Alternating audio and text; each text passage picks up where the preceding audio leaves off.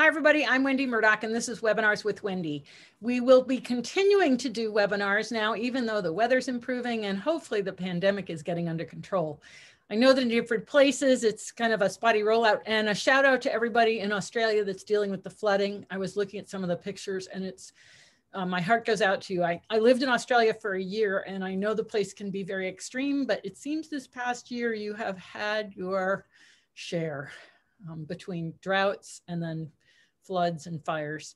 Um, so today my guest is Daisy Bicking. She's back with us. I'm so excited because Daisy and I had a great chat the other day.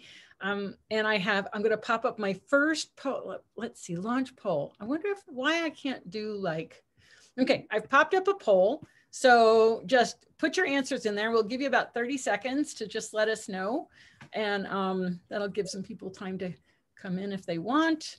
Um, and I don't know why I can't roll out one question at a time. That's the thing that confuses me. Um, oh, well, the good news is that the majority of people are not dealing with acutely laminitic courses. We're really happy about that. We want to keep it that way, actually. All right, we'll give you a few more seconds to answer the poll, and then I will go back and figure out how I can do one question at a time um, because apparently it's supposed to. Do you have access? Yes, you should be able to see the poll. It, it came up on my screen. Did it come up on yours, Daisy? Yes, but I can't answer it. I can I can see the results though, which is very interesting. Yeah. So just look on your screen there. We'll give it two more seconds.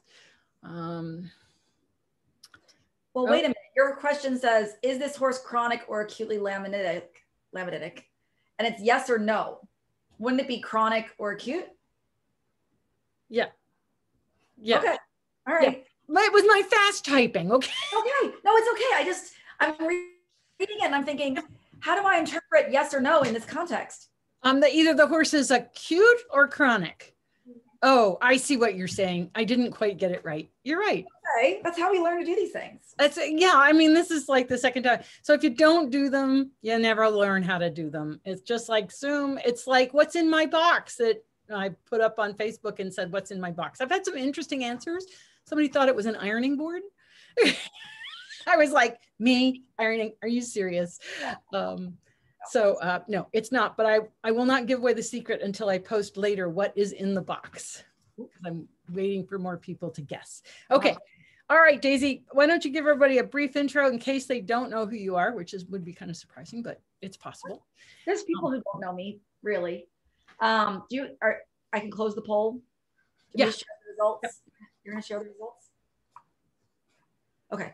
Um, so, hey, everybody. I'm really excited to be here on Webinars with Wendy. Again, we have so much fun. And um, I'm, you know, a farrier out of um, southeastern Pennsylvania in the USA.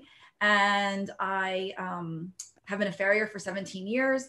I focus my work on rehabilitation, most commonly uh, laminitis and um, any kind of navicular arthritis issues, um, just itis in general.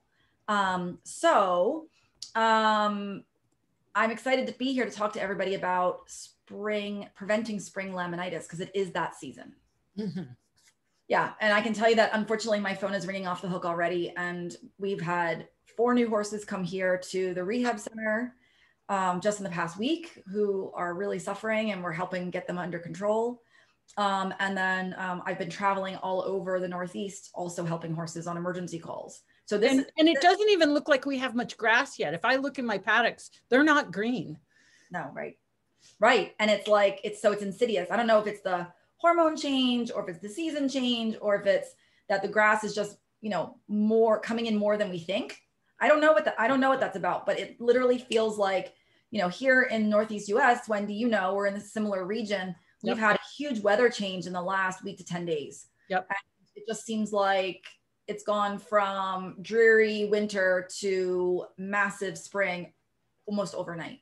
Yeah. And you know, the temperatures are in the have been in like the 60s and 70s during the day. Today we were 24 degrees this morning. So we're getting those big swings, but it's during the day that's warm enough to grow grass. Right. So even if even if you don't look on your lawn and go, "Oh, it's nice and green," there's stuff underneath there that's coming up. That's right. That's right. So um So at any rate, so um, I have a presentation for us if you want to start that, because I like to have pictures and slides and, you know, I understand some people are visual learners. So yep. like to have both those things. So we can start that and just talk as we go. Does that sound good? Perfect. Wonderful. Okay, share my screen. Okay. Doo -doo. I should be able to use my mouse in this mode. Yep. Can you see that okay? Yeah. And okay. people love pictures and slides, okay? Perfect. Yes, good.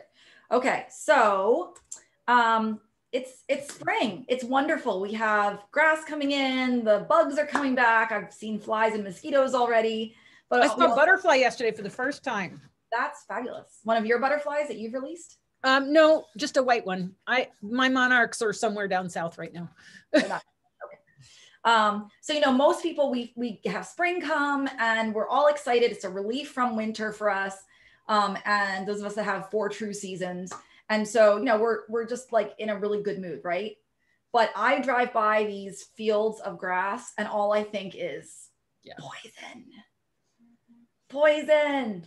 And it's terrible. I'm so biased because of the kind of work that I do that when I see a nice green field and I see lots of horses out on it, I have anxiety, which is terrible because when did it get like this? Like what's what's the deal with all of this, which is what we're here to talk about, right? Like why is the grass a problem now when it wasn't in the past? Right? Because it does seem to coincide with the grass coming up.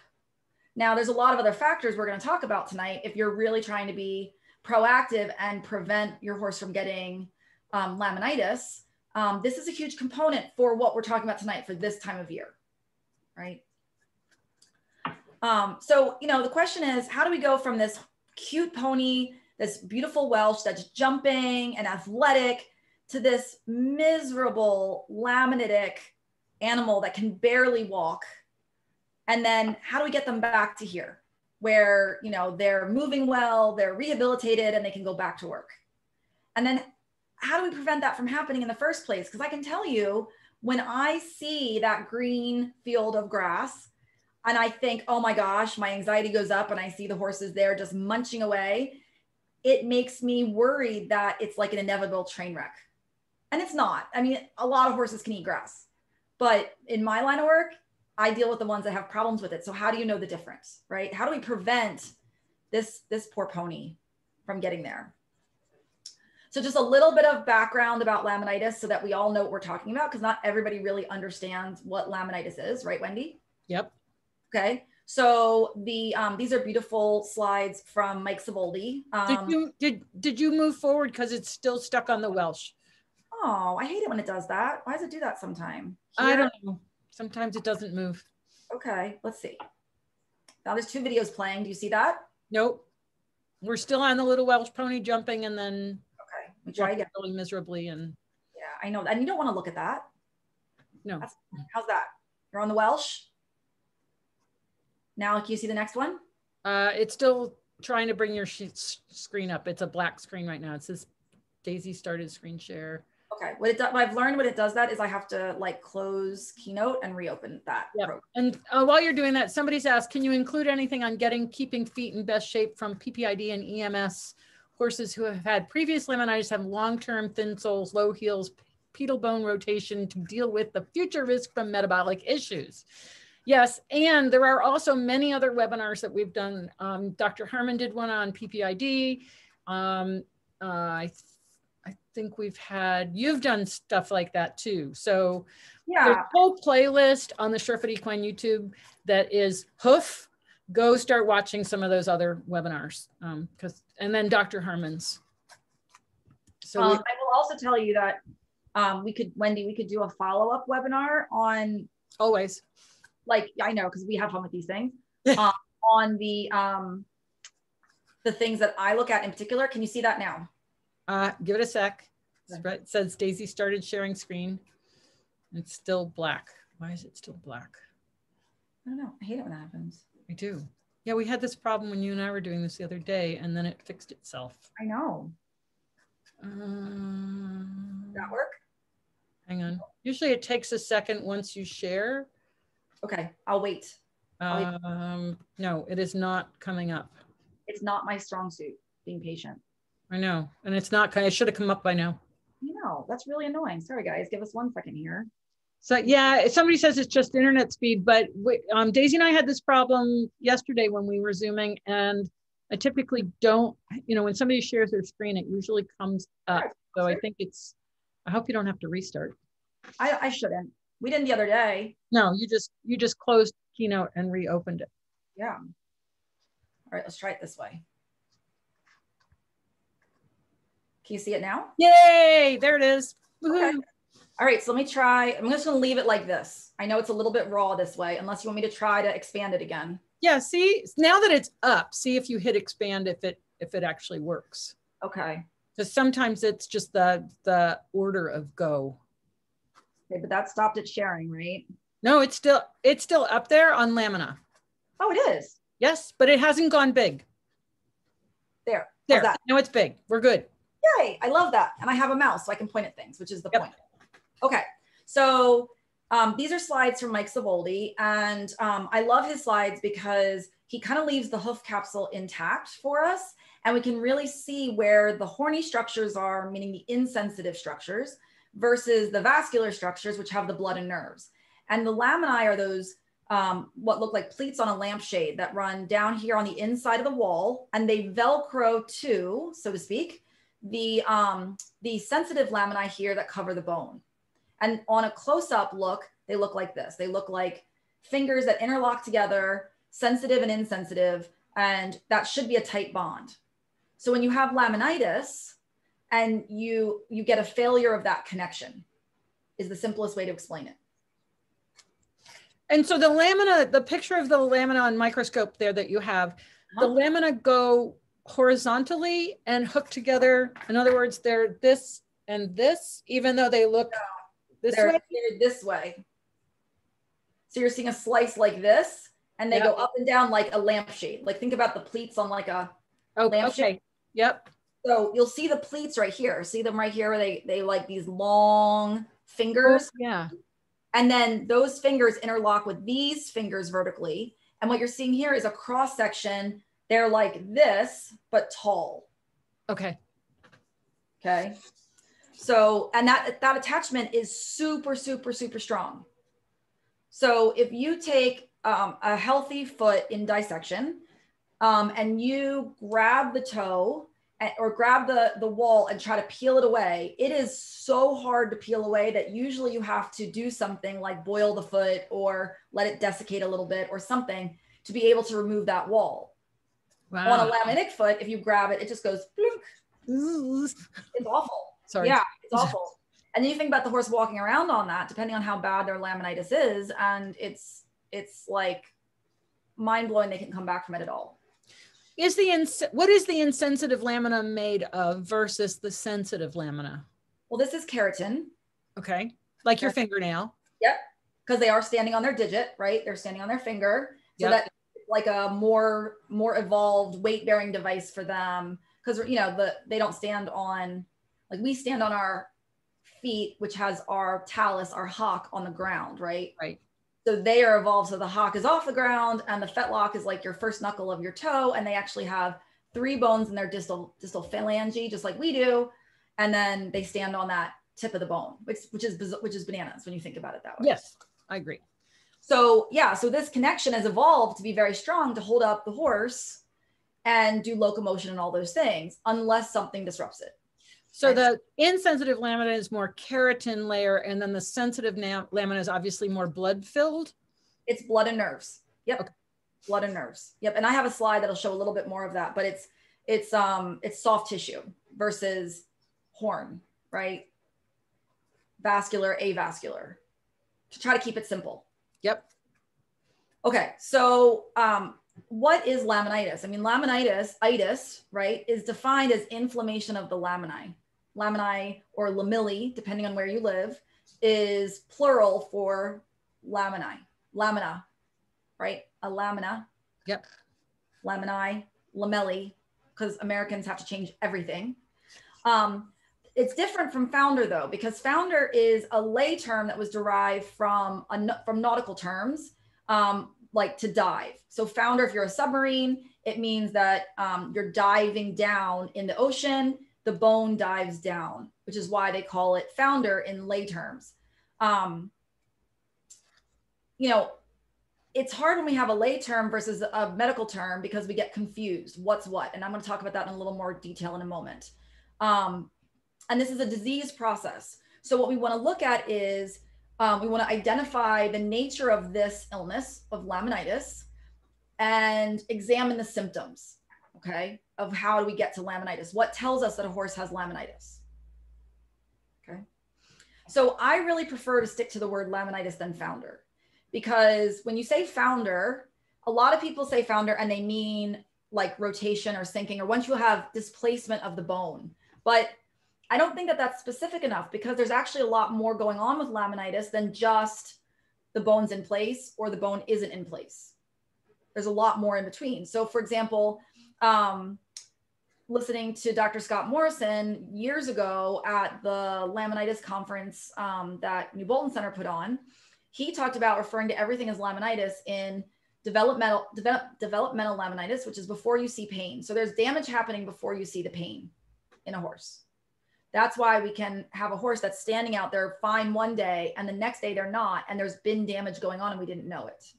So it's it's insidious. It's awful. Then there's acute laminitis, which is when you have active inflammation and the horse is now painful. So when you see inflammation and you see pain, the laminitis has been going on well before that no matter what kind of laminitis you have. Okay.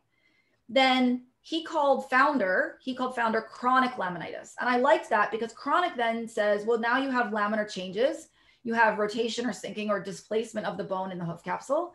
And so um, once you have that, you've got permanent change to that connection of the laminae. They can go back, they can reattach, but they're never as strong as they were before. And a lot of times they've got scar tissue in there as well. So Chronic laminitis is once you have displacement of P3. Chronic subacute laminitis would be you have a horse that's had changes, but they're still in the acute process. So they're still very painful and they're in an acute process. You can also have chronic stable, which means they've had changes, but they're stable. Their feet are functional, they're well managed. You can do things with them, they're sound, there's no active changes going on. Okay. So and would that be the kid, the horse that I showed you yesterday? Right. She's got changes to her feet because of past acute episodes, but even though she's got a chronically laminitic foot forever to some degree, because you're always going to be managing that, she's stable. Yep. Okay. Um, and then I throw in there one more because I think, you know, this is something that's become more and more on our radar as we really understand laminitis is subclinical laminitis.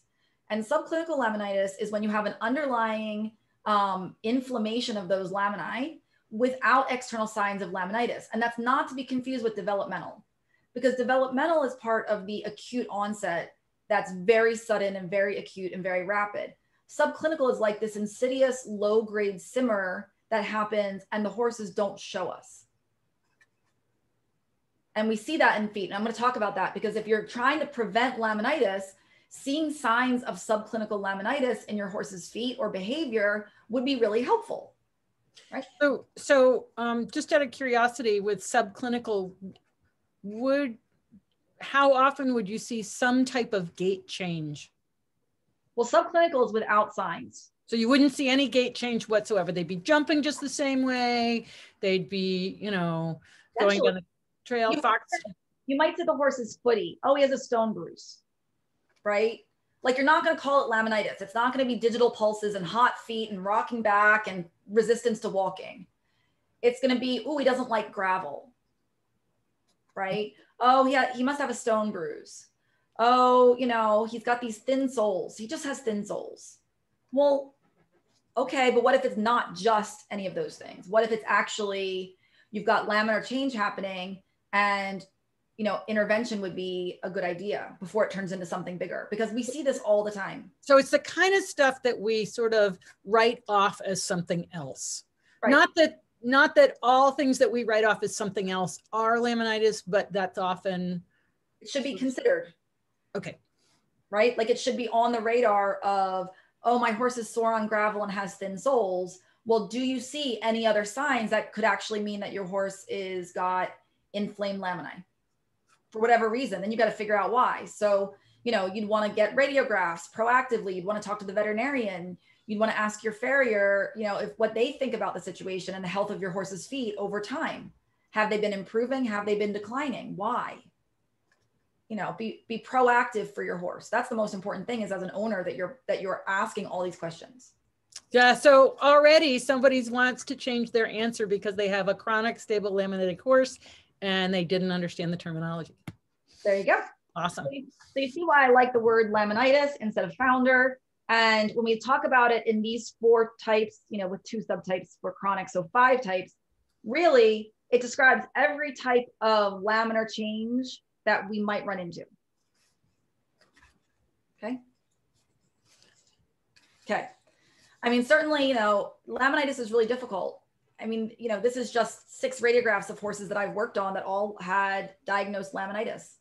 And these were all considered chronic, acute or chronic um, stable because they all have displacement of P3 inside that hoof capsule. And we're going to talk a little more about that, of course. But this is technically not a webinar about what do you do about laminitic feet, right? right. This is about how to prevent spring laminitis. So keep in mind that there's things I know that everyone probably has questions about, but I'm kind of like keeping it light for this purpose because there's a lot to talk about about prevention and I don't want to like not get to that stuff. Well, and the bottom line is if we prevent our horses from looking like this on radiograph, we are much better off. That's right. Exactly. Don't let it get to this point. Exactly. Okay. So why does laminitis happen? Okay. Um, there's basically amongst the the scientific community right now, there are basically four types, give or take. There's some overlap. There's some discussion about what's what. Um, but you basically have some kind of toxemia. And um, talking to Dr. Chris Pollitt, who's one of the world's leading researchers in laminitis, um, he basically thinks everything is toxemia. So basically, it goes back to the horse gets toxic for some reason, the gut that gets disturbed, um, and then all sorts of enzyme problems happen, and the feet start falling apart. Okay. So toxemia, as we think of it traditionally, would be like um, um, an acute illness right? Like um, explosive diarrhea of some kind, or um, a fever related something, or a retained placenta, um, or like a grain overload is going to affect the gut flora. Okay, so that's toxemia kind of fits all those acute things into that category. Um, endocrinopathic laminitis is like what we think about with our um, spring grass often is the insulin resistant, the equine metabolic syndrome, the Cushing syndrome horses. Um, that's its own category when I first started going to the, the laminitis conference um, put on by Penn down in West Palm Beach, this would have been 2005 was my first one. They don't do them now, but I went to every one. Um, they, um, they weren't talking about endocrinopathic laminitis at all. It was all um, retained placentas, grain overload, compensatory limb, and mechanical founder. That's all it was. And of course, you know, I was in the field and I was seeing all these metabolic types. But back then, you know, I joined Dr. Kellon's um, Cushing's group back when it was 600 people, you know, uh-huh. and now it's like what, 10,000, right? So, um, so this is, you know, I've watched the evolution of these definitions and it's been very interesting to see how it, it's now we have kind of two different tracks of laminitis. You've got the metabolic horses, the endocrinopathic horses, and then you've got the acute horses that have something massive happen to them, like um, like like acute illness, grain overload, compensatory limb, um, or some kind of mechanical road founder concussive type of laminitis. Um, think about if a horse has compensatory limb, like they've tried to make horses founder get acute laminitis from tying up one leg. Compensatory limb right? Standing too hard on one leg and and then that foot founders. They can't make them do it. Why doesn't every horse who has a horrible abscess also get compensatory limb laminitis if they hold their foot up in the air for 10 days or two weeks because it hurts too much. They don't walk on it much. Because there has to be another component, which is where the toxemia comes in. There has to be something else underlying that makes certain horses get compensatory limb laminitis. Do they see a breed tendency in laminitis? Well, no, not really. I mean, there's so many different kinds of it. All these different things can cause laminitis. So I think we could say that certain breeds, we see more breeds than others have more endocrinopathic laminitis. but I don't think that there's any studies that show definitively that like Morgans or Arabians or Haflingers or certain types of ponies are more are more prone to it. It tends to be more about their individual pers- uh, uh, not personality. That's not what I'm going for. Um, body mechanisms. Yeah, like like their constitution, right. right? As opposed to breed. You know, I have an Arabian here who um, is 29. No, he turned 30 this year, and no stitch of any metabolic disease. I, I'm blown away. Yeah. I mean, every other Arabian I've owned, which is a number of them, have all had metabolic disease. So you'd think, oh, it's Arabs.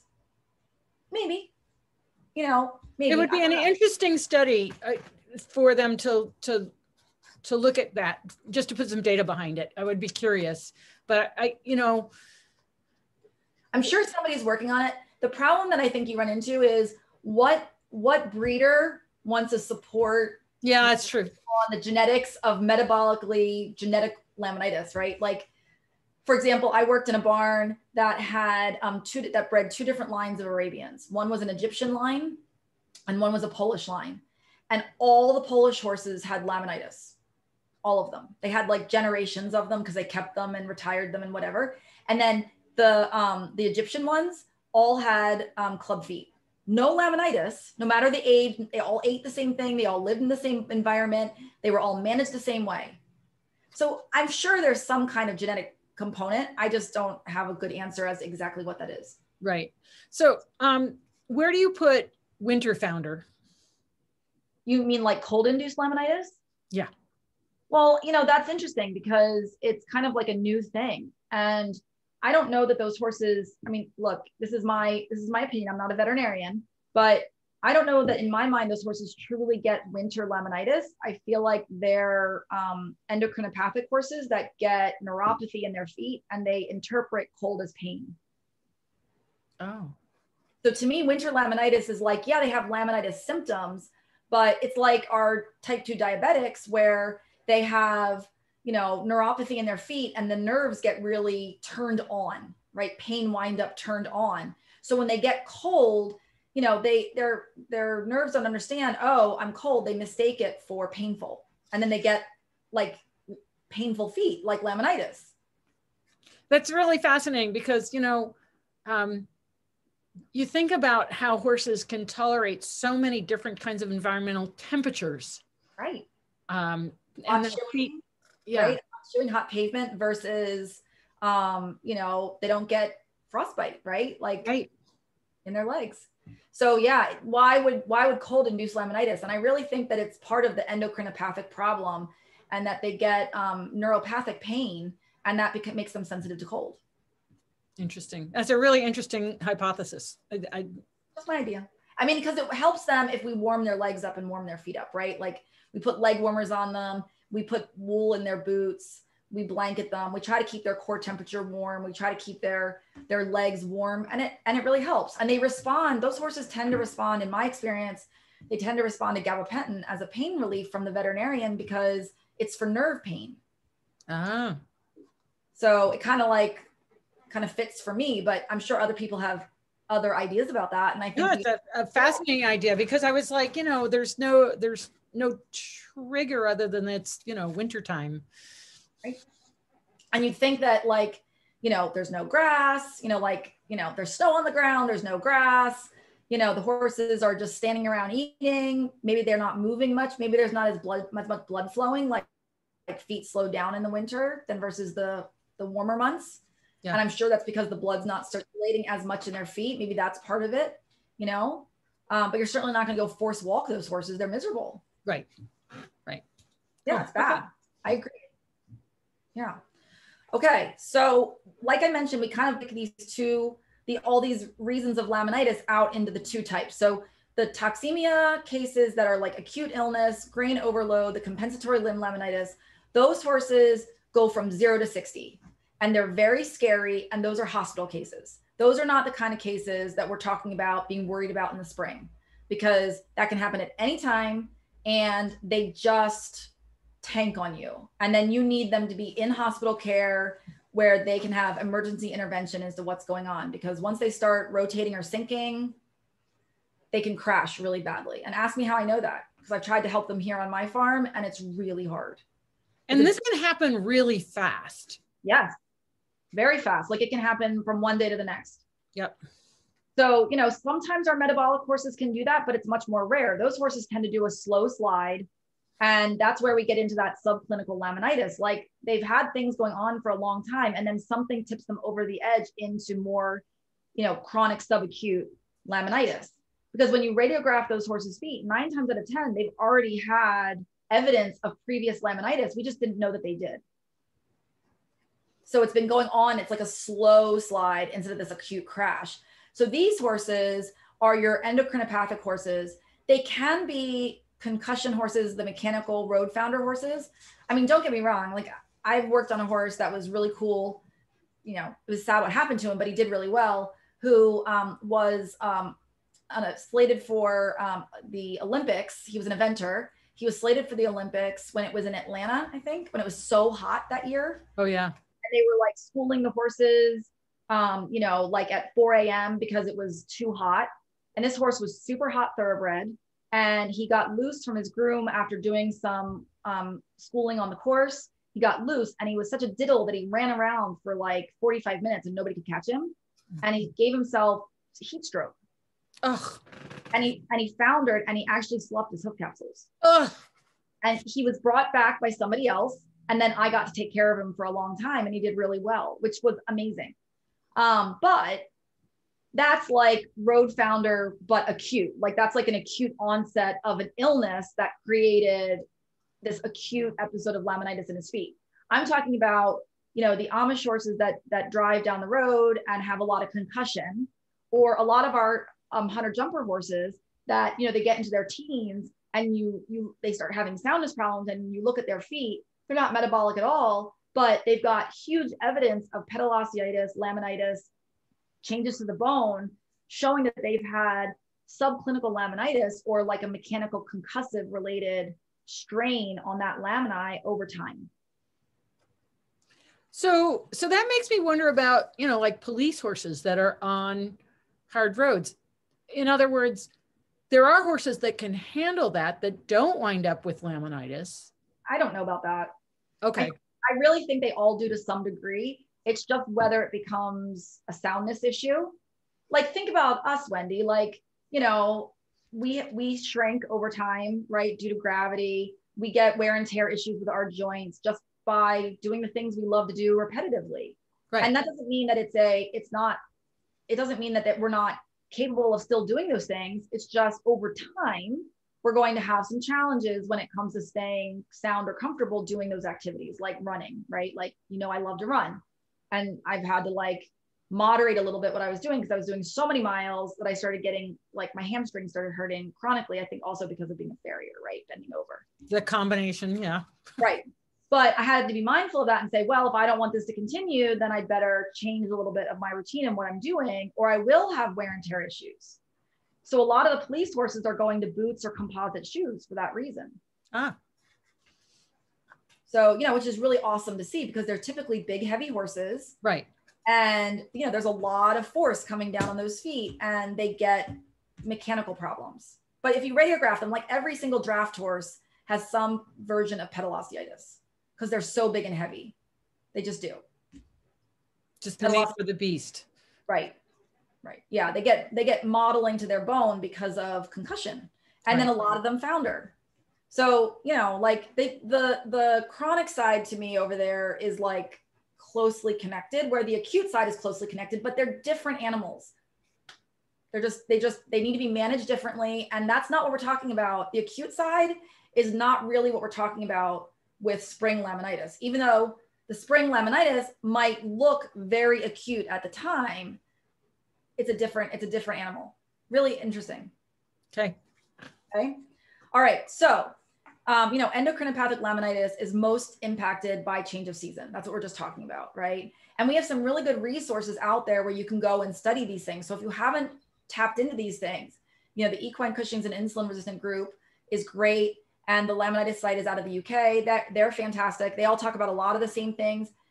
We don't know nearly enough about laminitis. Like it seems like this should be really straightforward, but we have like tons of different things that we're trying to figure out with it. It's like curing cancer. You know, it's it's like you think we'd have an answer by now, but we really don't. Excuse me. So, you know, the the bottom line of all this, and this is like if you take one thing out of what I talk about here today, get yourself educated. Talk to as many people as you can, read as many things as you can, peruse these sites, connect with people that deal with it so you can start educating yourself and recognize things before they happen and have a plan of what to do. It's like you don't know what to do with a horse that gets colic unless until you have a horse with colic. Right? So the goal of this is to say if you knew you needed to have some Banamine on hand and you knew to give your horse um, you know, like um, some intervention when when there's a huge temperature change so that they don't, you know, get a belly ache well, you would do those things proactively just to prevent the possibility. But if nobody told you those things, and then your horse gets a belly ache, and then they're like, oh, well, to prevent this in the future. And you're like, why didn't somebody tell me that beforehand? Right. right? That's what I'm talking about. Okay. So the most, the most important thing is that whoever is on your horse's care team, the veterinarian, the owner, barn manager, trainer, whoever takes care of your horse, of course, the hoof care provider, any complementary practitioners you work with, right? Your body worker, your dentist, your chiropractor, your integrative care provider, everybody needs to be on the same page. Like Wendy, who in the world is supposed to be in charge of diet? Well, you know, that's a really fascinating question because typically if you're, you know, have your horse in a barn, the diet is controlled by the barn manager. Right. Are they an expert on laminitis? Yeah. Um, are they an expert on um, i don't know allergies in horses? Not necessarily. Some know more than others right? I'm not trying to disparage the right. barn that are being in charge of the diet because a lot of them study a lot and they're really dedicated to feeding horses well. But it's, we you know to to that point there was a time when we trusted the feed companies to tell us what was the best thing to feed our horses. And yeah. what we've come to learn is on a chemical basis, maybe they know what the best thing is to feed the horses, but on a metabolic basis, that may not be the case for our particular horse. Well, right. And everybody has a perspective, right? Like, just like there isn't enough information about laminitis, there's not nearly enough information about nutrition with horses specifically. Yeah. So, what suits one breed or one level of work versus another breed or another level of work or various climates or accessible forage you know, the grass here in Pennsylvania is not the same as grass that's going to be in Colorado. They're just yes. different. And the hay, the hay is going to be totally the different. It's going to be different. Um, you know, even like brands of feed that are available. You know, what what we feed here in the Northeast may not be available out west. They might have something different that they're feeding. I can guarantee you, it's not. right, right. My experience as well. So, you know, I think that this is just an example of if you have, as the owner of the horse, if you have opinions about what the horse is eating, and then the veterinarian has opinions, and then the farrier has opinions, and then your holistic practitioner has opinions, whose opinion do you follow? And how do you know that you're making the best choice for your horse? And can you actually implement the change? Right. Is it practical? Is right. it affordable? Is it practical? You know, if you're living in a boarding situation, they may not be able to mix 16 different supplements for you into the feed every day. Right. So, absolutely. I mean, I think we overcomplicate these things in general. And I think because we don't know nearly enough about it, that some variety is important. You know, like they say, if you feed your dog or your cat the same brand of food day in, day out, every day, their entire life, they're probably going to be missing something at some point. So, some variety is is beneficial. We we can't even decide whether grains are beneficial for dogs or not. Ugh.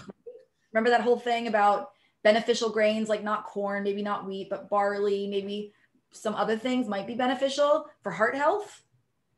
And yet there are still people that are like, nope, grain free. And then raw versus kibble or wet food. I mean, it, it's mind blowing. So, yeah.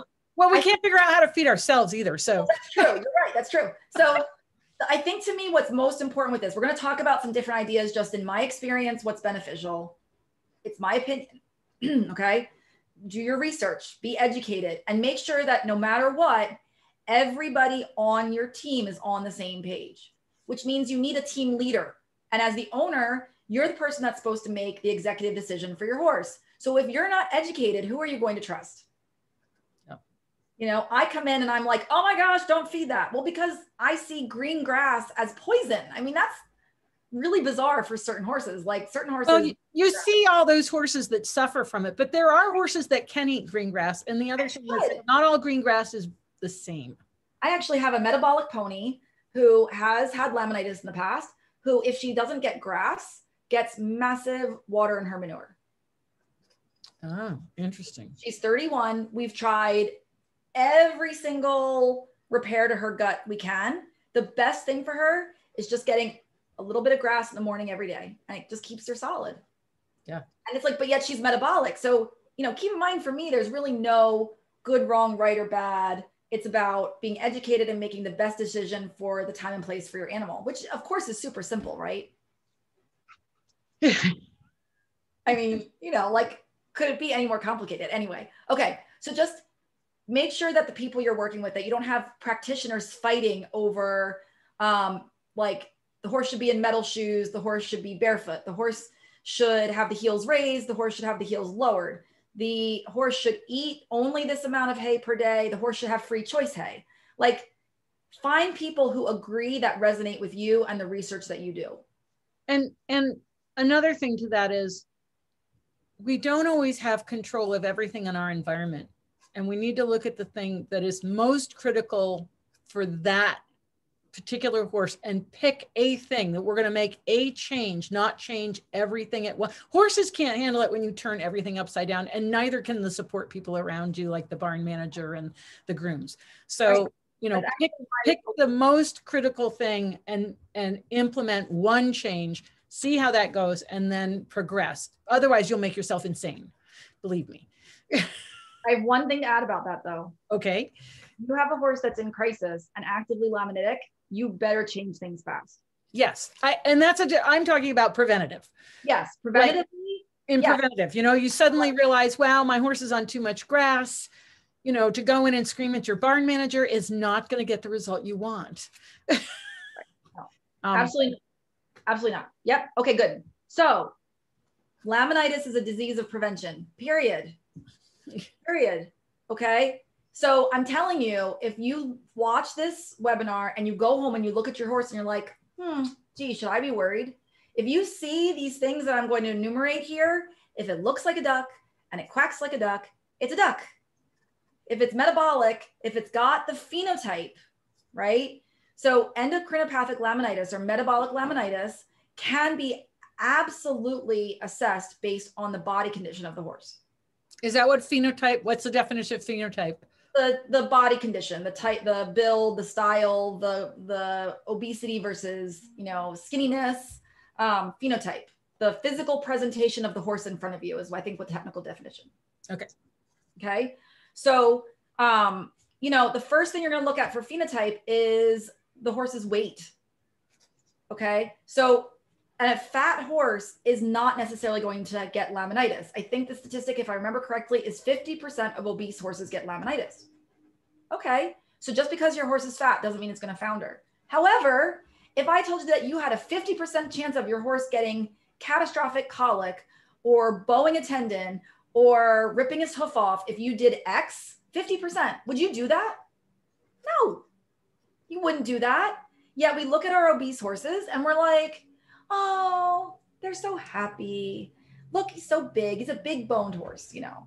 So or he's well muscled. The people do confuse muscle with fat or fat yeah. with Yes, absolutely. When Wendy foundered my my horse Wendy that you met, that I rehabbed, that brought me to hoof care, he was in dressage work five days a week. We were doing clinics with you, and he got laminitis and was massively obese. And I thought he was just muscled. I didn't know. I was an owner. I didn't know. That was a long time ago. We've known each other for a long time. We have, but you know, look at what you've done with that knowledge. Thank you. So, yes, it was still a blessing. So, um, when you assess phenotype, I like to use the Henneke body condition scale because it's very specific. So, you can look at fat deposits um, along the neck, along the withers, at the ribs, behind the shoulder, in the loin, they'll get that like channel down their back. Around their tailhead, they get like a, an apple an apple tush, you know, where like the tail comes down and it looks like the top of a really nice um, red delicious apple right there. This horse is massively obese. Yeah. He's like a full nine. I mean, he has like rolls of fat down here, if you can see it. Okay. His crest is huge. He's got the um, fat pad here at the withers. He's got one here behind the shoulders. You can't see the top of him right now, but he does have a big channel down his back. He's got the fat pads on his butt. Um, he, you can also have orbital fat pads where the dimples above their eyes, right, get filled in with fat. Um, and the worst of these, just like if you saw a middle-aged man walking down the street who had a pot belly and had muscle wasting, what would you think about that person? He's pretty unfit and pretty fat. yes, like like ready for a heart attack. Yes, right? exactly.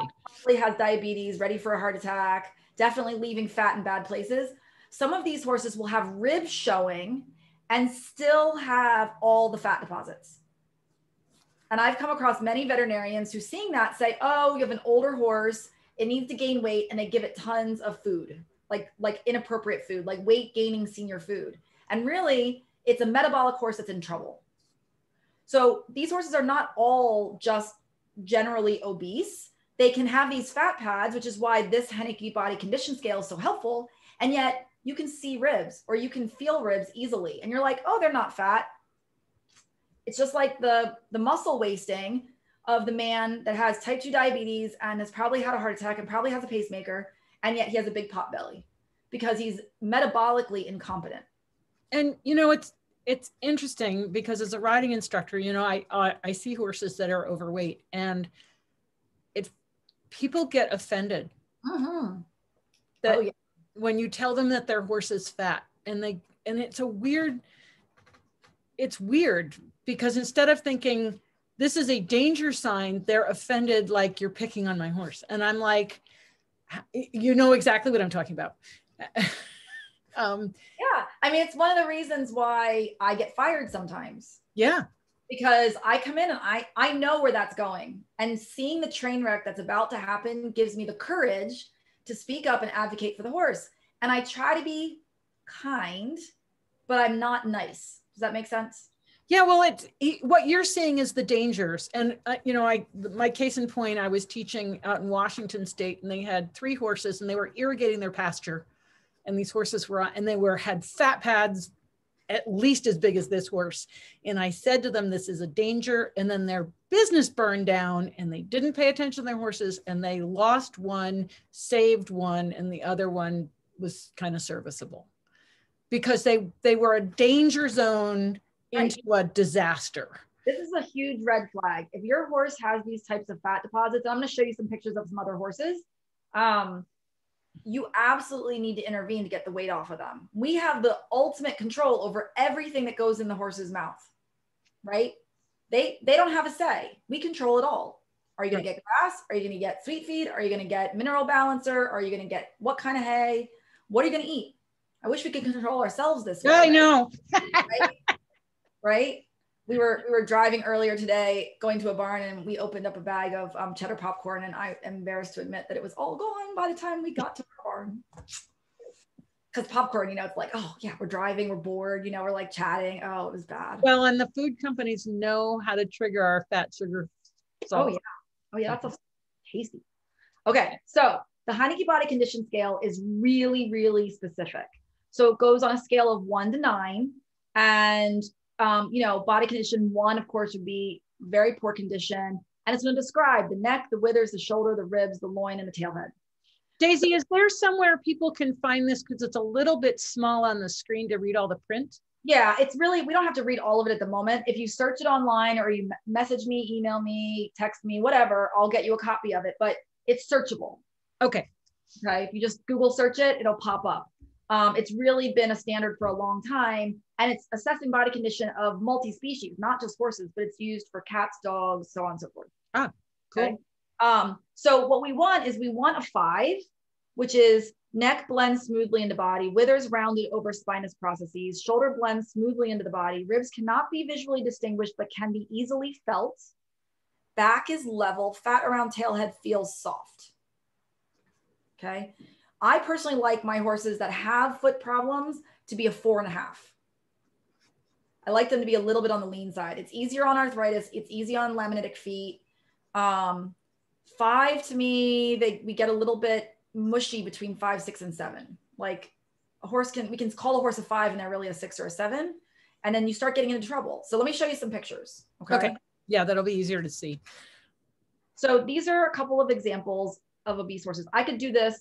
I could do this all day long. I have so many pictures of obese horses. I should just start like a before and after folder and like yeah changes because you can totally change these horses. People say, "Oh, their crest never goes away." Yes, it does. Yes, it does. Sometimes you have to get them really skinny because that those fat pads are really sick fat and they have a lot of toxins in them and the body holds on to them. It's like they're like wax, you know, they're like they're just really bad. Um, that adipose fat. And um, you know, it's it's what's in the crest specifically and in the orbital fat pads. So you can get some weight off these horses, but they'll keep their crest sometime. But they'll get rid of the crest if you really get them controlled. So don't give up if you've got weight off of them, but there's still a crest. Look deeper as to what's going on. Okay. You know, can you talk about the horse in the middle? Because a lot of people would look at that horse and not see it as a seven. Right. Right. So she is, and wait till I show you what she looked like when she was skinny, because I'm going to show you here in a second. Okay. She she is fat all over. So she has a very even distribution of fat.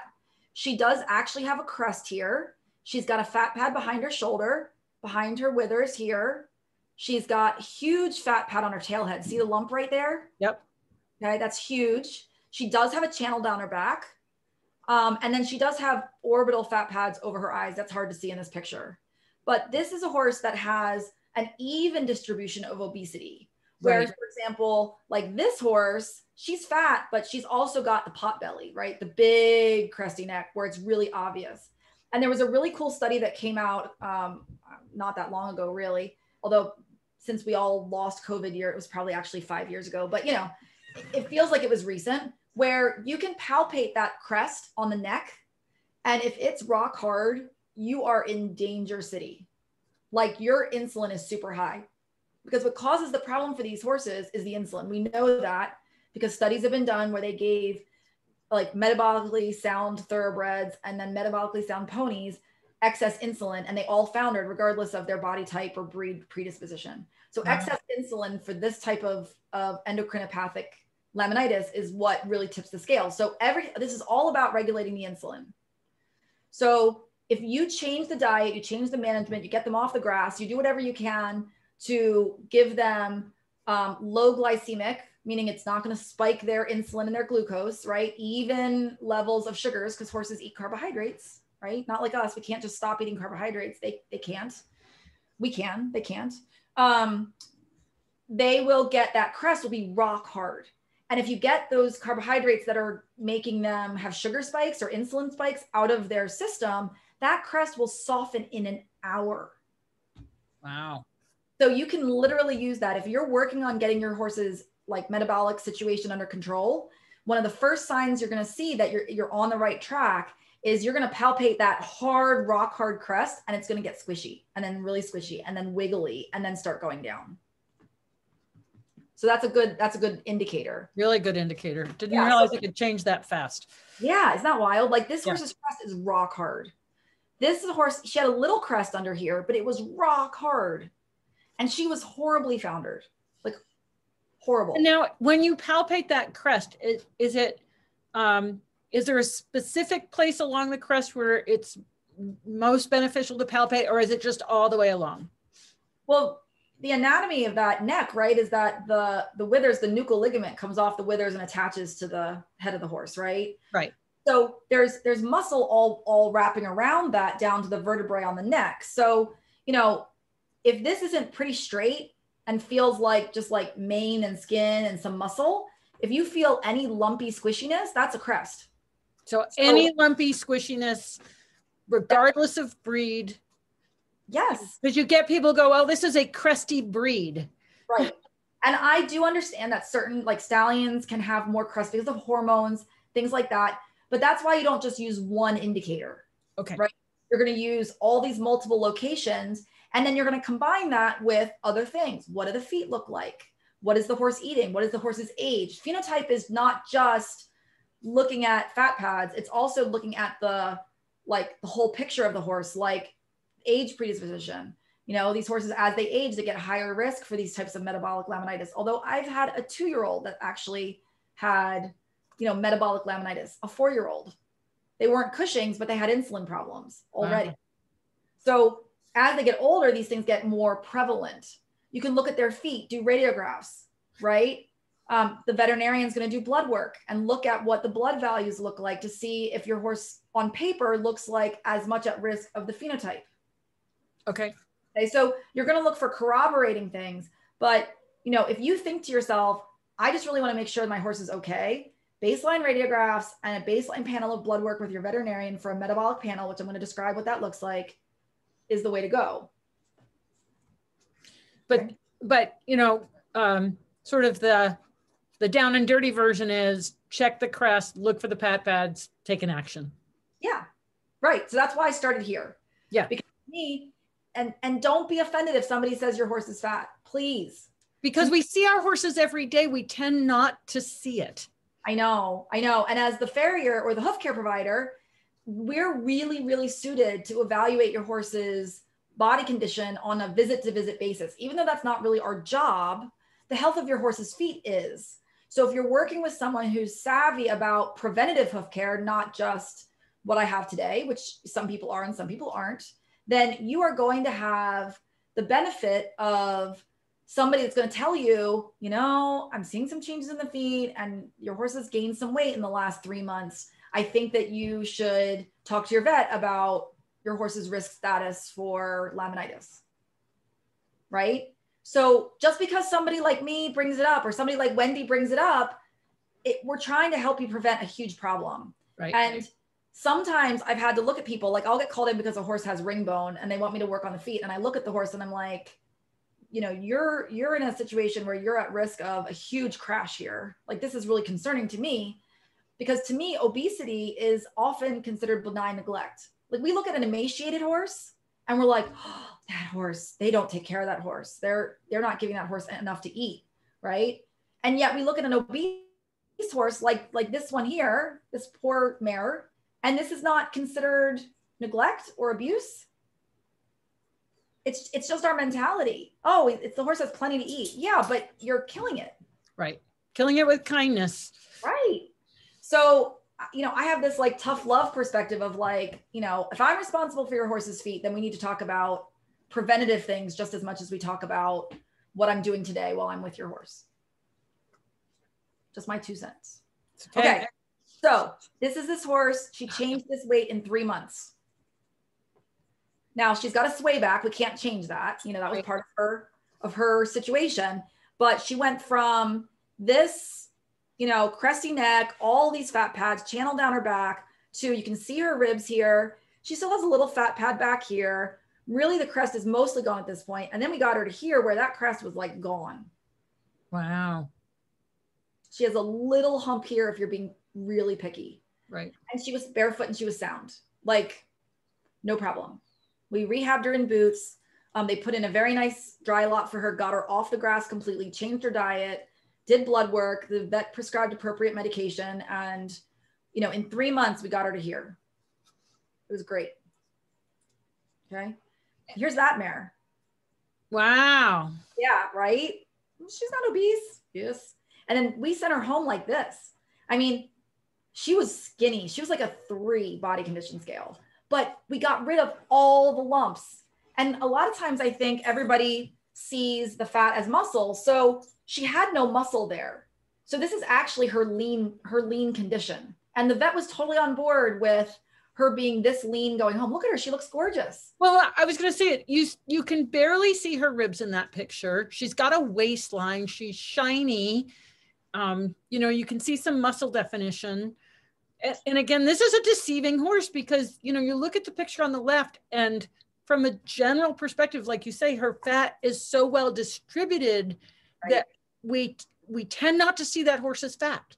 Right. Exactly. Exactly. So, you know, she was she was generally obese everywhere. And then what was cool about her, and this is one of the conversations we have when we get to the healthcare component, is why would you shoe a horse versus not shoe a horse? Um, you know, I use glue-on composites, but one of the reasons why we put her in shoes was because I wanted her to get moving faster. So this is our property here at the farm, and we have these nice dry lots. That's the driveway. This is one dry lot. This is another dry lot. So I wanted her moving as quickly as possible, and she could move better in glue-on shoes than she was able to do in boots. So very quickly, she came around, responded well to the diet changes and the medical changes that our vet made. And then we got her in shoes because she was finally totally stable. And she was she was in a in a herd with two other horses, and they moved all the time. You know, somebody just brought up a really good point that people might be afraid of having a horse too lean because we're so um, sensitive to abused thin horses. Right right Absolutely. we're so allergic to that idea and the and what that means that we've kind of overcompensated um, Absolutely. I totally agree with that because, you know, um, one of the veterinarians I work with here is a, a fabulous vet, Dr. Jim Holt, who is the um, veterinarian who supervises the New Holland sales auction. And if you knew, know New Holland, there's a ton of horses that run through there that go to some very not nice places. And yet he's there to do a service, which is make sure that horses that are not fit to go don't go, and that the horses that go are healthy enough to travel. And the ones that he can pull out, and he works with all the rescues, he can place in rescue. So he works very proactively on the benefit of the horse, but he sees so many emaciated horses. Right. That when he and I work on laminitis cases together with these metabolic horses, and I'm like, oh, this horse is like way too fat. He's like, it could lose a little weight. Yes. Right where when I'm like, oh, look, I can see the ribs a little bit. I love that. And he's like, okay. Because because we have like the opposite bias, right?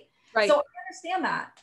Like I really understand that. And and I think it's important to remember and be kind. You know, we're not trying to beat anybody up with these things, but try to light a fire under somebody because if you don't have a problem yet, uh, we're not inclined to change things. No, this is very, very true. We get into that into that pattern of routine where if it's not you know yelling at us in the face we just kind of go along is it called entropy i'm pretty sure that's the word right exactly so here's this mare look how cool this is whoa this was eight eight weeks. Wait, wait a second how'd you do this in eight weeks I, look sh- shamelessly i have to plug the BEMER on this because this mare was managed super well at home she got from here to here like in the first maybe three months, but she wasn't comfortable and she wasn't dropping weight fast enough. She had a nice big stall. She had a nice dry lot turnout the owners put in. She changed the diet to whatever I said. The vet was on board. We had good medication on board to treat her obesity and her metabolic problems. So she actually came to our farm specifically to get BEMER. And it just boosted everything we were doing. Like it blew me away. I couldn't believe that we got this much change in eight weeks. Wow. It was yeah. Wild. I mean, like I can't lose that much weight in eight weeks. No. and you and most people would tell you that it was unhealthy, right? Like the guideline is 10 pounds a week. So for her to go from this level of obesity to here is like I think she honestly had a lot of like retained fluid. Like I think she was like a bloated tick. I yeah, I would have to agree with you because there's there's just from you know uh, the standpoint of understanding losing weight that there ha- there had to have been a lot of fluid there that she was exactly just- right and i wouldn't have guessed that and unfortunately we were just weren't able to get her like her system jump started enough um, because the owner had all the right things in place so somebody's so, asking what BEMER is and yeah. while um, we can send them to you to find out a lot more because you have a lot on your website right yes well no it's not on my website but they can contact me on facebook and i can send them some info um, it's PEMF. So it increases circulation. So Which is pulse electromagnetic field therapy. Yep. Right? Pulse electromagnetic field. Yeah, it's good stuff. Increases microcirculation, which of course is a lot of what we deal with with laminitis. Yep. Okay, so why does this all happen then? Why do these horses get obese? Why why is this such a problem? You know, why is the grass a problem now when it wasn't in the past? we talk a lot about you know genetically modified um, grass breeds that were developed by the, the usda for cows right they wanted better milk producers they wanted um, uh, fatter steers right to go to slaughter more resistant uh, grass breeds to drought Um, and they basically increased the carbohydrates in our grass. And none of us really understood that. So we all thought, oh, it resists drought. Let's let's reseed with that. That's great.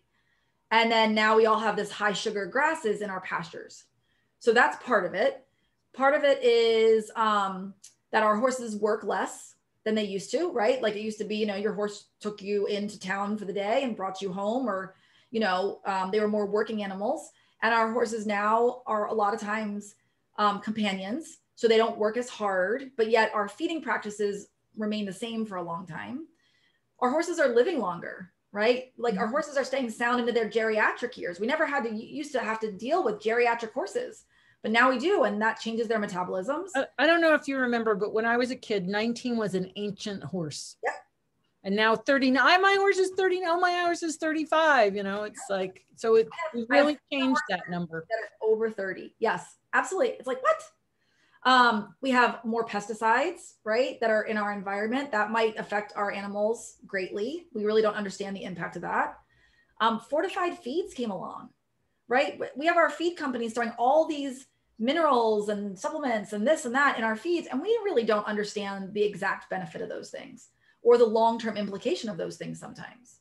You know the nutritional requirements for horses is is really not very specific.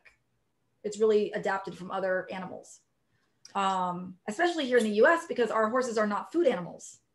So right. they get to do all sorts of things that they don't do in the food production industry. They do in our horse feeds that they don't do other places which is really interesting and well, the GMO that's come into the feed that we don't know about. Right, right, absolutely. GMO corn, GMO soy, soy, exactly. Yeah, there's a ton of stuff. Um, and then what about new illnesses? Like, I don't know if we've always had the same level of, you know, tick-borne disease like we have now. Did we have that 20 years ago, 30 years no. ago? I don't think so. No. So, you know, this is why this happens. Um, you know, our horses are different, our environments are different, and it's unfortunately just like us, right? Like we didn't have the high incidence of um, of type 2 diabetes and obesity until the advent of high fructose corn syrup. Right. Like it made everything rampant. What was that in the 80s? Like everything just exploded. So these things matter. Okay? And you know, in, in New Zealand, it's really interesting because when I used to go there in the 90s, the horses were lovely and i don't ever remember them talking about this thing that happens to them now which is in the spring. There's i've forgotten what they call it. It's kind of like grass fever. The horses go kind of nutty. Ooh. and but the difference is now when i go there they've cleared the land to to raise dairy cattle. And so the grass for dairy cattle is quite different and I, I mean, I, I was so shocked when I was there in, in 19, 2019, because they were talking about this. And I was like, you know, I just had no memory after going to New Zealand for six years in the 90s. So, you know, things are have changed. Yeah. Absolutely. Yeah. Yeah. So intervention, right? Understanding these problems and intervention. That's what we're talking about. So if your horse is an ideal body condition, then you're at less risk of laminitis, period.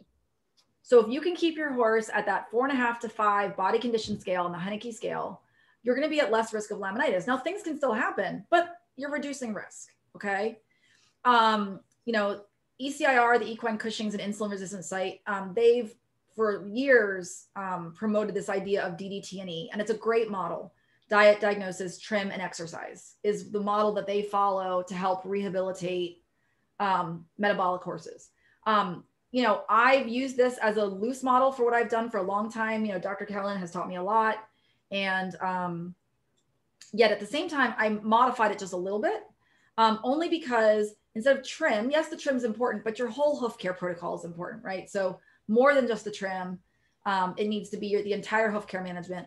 Um, I misspelled exercise. That's terrible. I was typing too fast. Well, um, your pesticides is missing a T, but I wasn't going to say. Oh man. You can do spell check on each slide. Brilliant people misspell things all the time. Oh, good. Oh, good. I'm right in there. That's right. Because our brains are going really fast and we're typing out these words and we don't care about the spelling because you know what I mean anyway. Yeah. So size is appropriate, of course, but I, I have to include the team in there because when I see that horses don't do well that I'm working on, it's because somebody on the team is doing something different and mucking up the system. Right. Give an example So like, okay, so let's say that you have um, you have a vet who you come into a horse and you um, you look at the horse and you're like, oh my gosh, I'm worried that your horse has laminitis. Um, let's call the vet and get the vet out here um, so that they can look at your horse and give you an idea. And they come out and you're like, this horse has laminitis. And I can't say that the horse has laminitis because I can't diagnose that, but I'm going to just make sure that the person implements some investigation with the diagnostician, the veterinarian. So um, the vet comes out and says, oh, it's just an abscess. Soak the horse, no problem. Movement is good. Keep him on turnout, no problem. And you're like, what? What do you mean? This is laminitis. This horse is a nine on one. This horse can't, don't soak the foot. We don't want to make the foot wet right now. Don't turn the horse out. And the horse needs blood work. The horse needs metabolic blood work. And the vet's just like, nah, give it four or five days and let me know when it pops out. Like, how can you be successful with that scenario? You can't. And you know, it it it could be the it could be the trimmer that says, "Oh, this horse is fine." It could be the barn manager that says this. So it doesn't, you know, that my point being, it's not necessarily just your vet that is um, has a different perspective. Right. Well, you asked me for an example. I know I did. I'm just sharing the love. I'm not picking on the vets. Don't worry. I love my vets. I, that's the most critical person that I rely on in helping these horses is my veterinarians. Right. Um, so no, but it can be something like, honestly, sometimes the owner's the problem, right? Where the owner is like, oh, I only gave him a little bit of apple today. Or, oh, he's not know, fat. I like him this way I like him. This way. I don't need a dry lot. I'm not gonna. No, I'll just make it a mud lot. It's fine. There's no grass. It's fine. The mud's fine, right? And and that's fine. I totally respect people have different ways of solving problems. But if you're if I'm trying to be a team with you and Sergio and rehab your horse, if we're not on the same page, we're going to get frustrated and it's not going to be productive. Because if the horse doesn't do well, I'm going to point a finger at that mud lot or I'm going to look at the person and say, I told you so right? Or my answer is to not say anything and then hope that it's going to go well and have anxiety and fear and and um, you know, like worry about the animal. Well, so and let's talk about the dollars and cents because so often somebody says, you know, I really can't afford to have the vet out to take some radiographs right now. Can you afford the cost of a laminitic horse? Right. So that's exactly it because lam- rehabbing laminitic horses is expensive. It's very expensive and it's a long process. You know it goes on for you know a year at least in the rehab process. So you're going to need multiple sets of radiographs. You're going to need multiple sets of blood work multiple vet visits. Farrier's going to be there a lot helping you. You're going to need therapeutic shoeing or fancy hoof boots or some hoof care expense you might not have had otherwise. So yeah absolutely. You know it is much less expensive to prevent the laminitis from ever happening absolutely so there's a couple of questions. Yes. One is, how do you feed forage in your rehab program? Forage meaning our hay? I would think so. Okay. So in our program, um, we, well, I think that's the next slide. Okay. uh, okay. So I just, uh, and maybe you have an answer to this. The other question is, do you have resources for creating an appropriate dry lot? Yeah, I have a page on my website um, if you search Daisy Haven Farm dry lot, it'll come up in Google. Um, and it has uh, pretty detailed examples of dry lots and how to build them. I make it very uh, non-complicated. Like there's a lot of ways you can make them very expensive and you can also do it very inexpensively. Um, if you need help, just message me or email me and I'm glad to give you some input as well. Okay. And it's Daisy Haven Farm, right? Yep. You got it. So um, the there's a lot of different ideas about diet. Um, we we do basic hay testing to make sure that it's uh, you know low ESC plus starch. If you feel the fructans are important, so you want to use NSC, that's up to you. There's a lot of debate as to whether fructans are really an issue or not. Um, okay, you started talking a lot of acronyms here. Oh well, this is like this is like you know the highbrow stuff, right? This is where you got to go do your research on these websites to decide what makes sense to you. Um, ESC plus starch versus NSC is the way we measure sugar content in feed and forage. Um, and the guideline is usually less than 10% of one or the other. Um, we could talk for hours about the whole fructan debate, but um, suffice it to say, there's a debate about that, about whether fructans are important. Um, I do not use NSC and I don't worry about fructans and I have yet to see a problem from that. But there are people that will equally say that it's a huge issue. And I don't know if that's regional. I don't know. I don't know what the difference is, but I try to keep things simple. And there's a lot more hay that's safe if you do not consider fructans. So, so let me kind of back up a little bit. And clearly, what you have to do here is have your hay tested. Well, you don't. yes, you should. You ideally, but remember, you're talking about what can someone afford, what can they manage, what's not so stressful.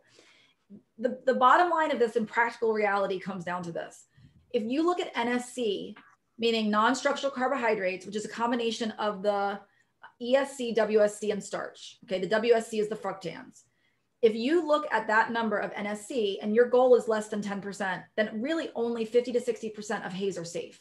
So it would eliminate a lot of hays from consideration. Okay. On the other hand, if you look at ESC plus starch, then 90% of hay is safe if you don't consider the fructans, if you're still trying to stay below 10%. Okay. So what that meant to me was the things about hay that I tend to look at, because I don't, I, I got to keep these things simple. This is complicated enough. No, I know. That's why I'm trying to. I know. So the things that I look at on a hay analysis are my ESC plus starch, my digestible energy. Okay. You want that between 80 and 90%. If it's above 90%, that means your hay is very high calorie. So they're going to eat a little bit and get a lot of calories. If it's below 80%, that means it's a lot of fiber and it's not very palatable to the horse and they might not eat it. Okay. So you want something between 0.9, 0.80, 0.90 DE, digestible energy. I want to make sure that my iron is under 100 parts per million because iron is inflammatory.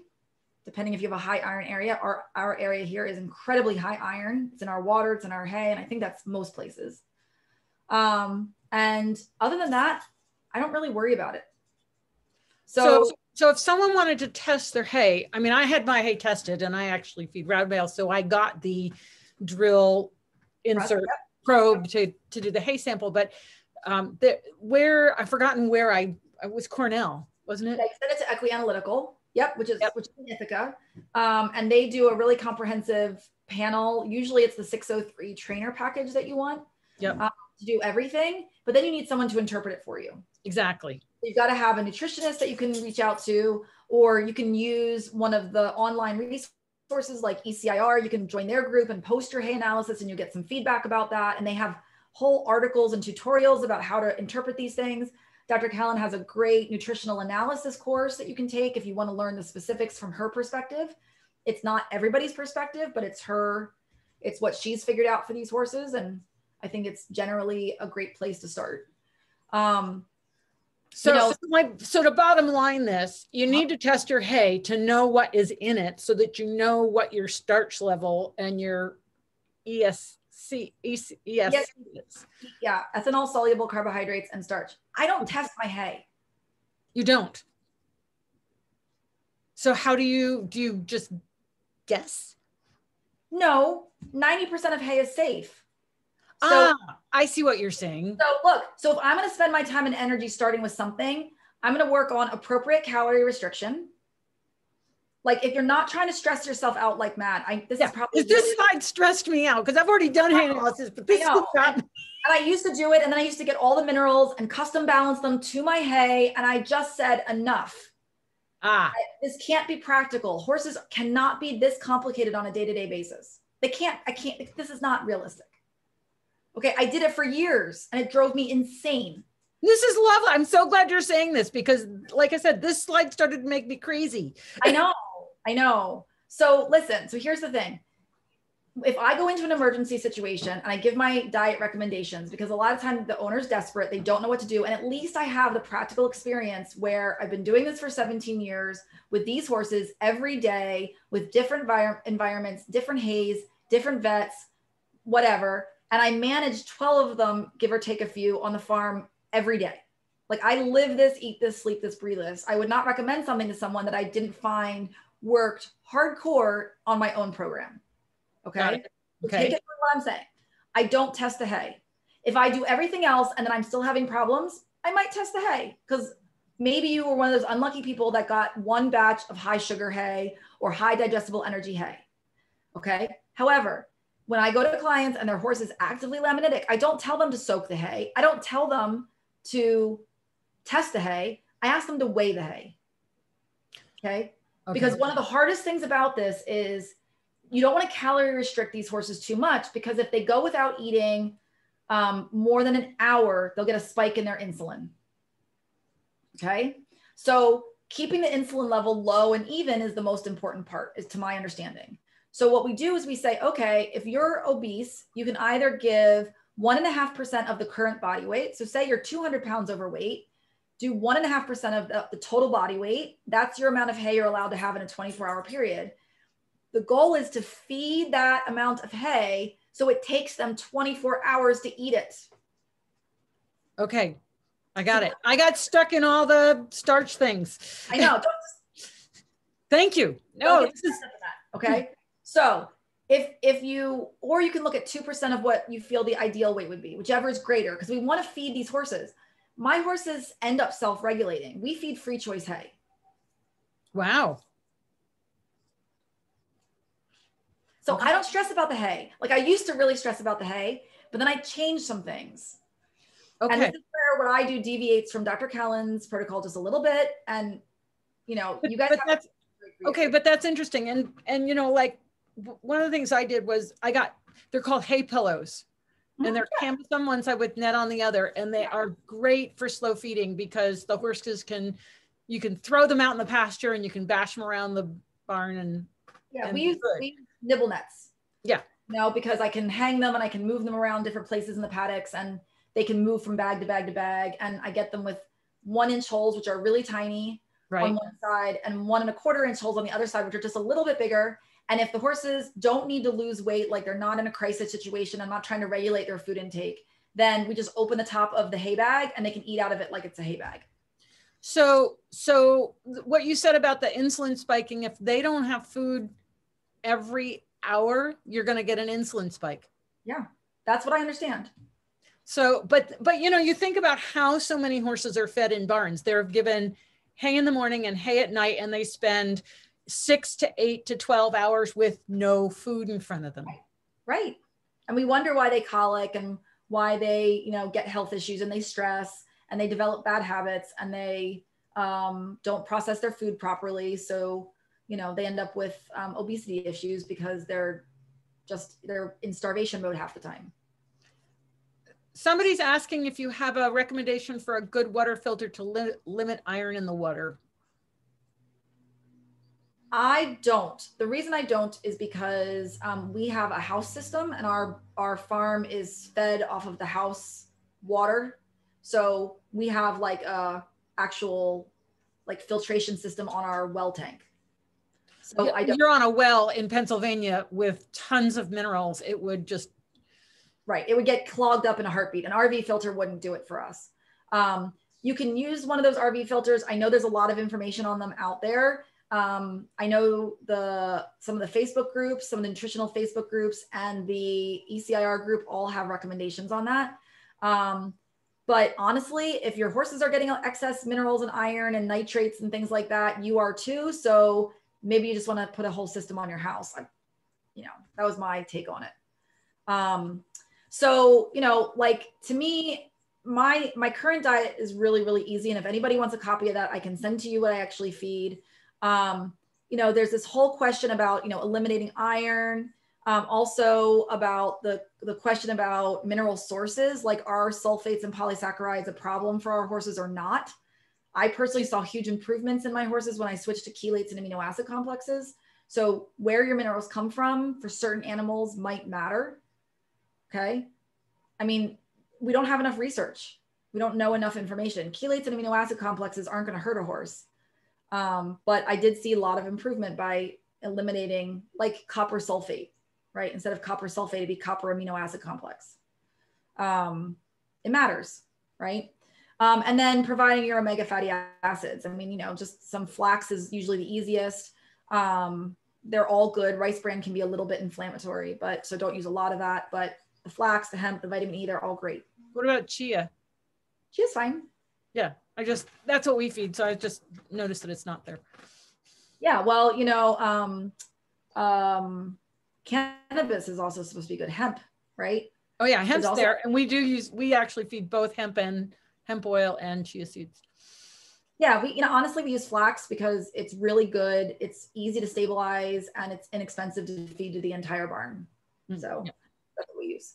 Um, but you know, I think that I think that anywhere you start on this idea is going to help you. So, you know, there's a lot of education out there about these things. Um, anybody who wants to see what I'm doing, I'm happy to send you my, you know, what I figured out for the farm. It's inexpensive, it's simple, and it's easily adjustable for different caloric needs of different horses. Like we have. Should we do a webinar on that? We can, yeah, sure. But I don't wait because because you know I mean, bottom line, with your experience and having 12 horses at a time on your farm, you've you've figured out things that work. If they're simple and easy, you know, we can just talk about that. And I think it's a lot easier than either trying to send people or trying to sit, talk about it tonight. no, I agree because there's more to cover, right? Yeah. Okay. So if you decide that you need to have your veterinarian get involved to help you assess whether your horse is at risk for laminitis, um, you're going to want to look at the phenotype in detail. You know, what's your horse's history, body condition?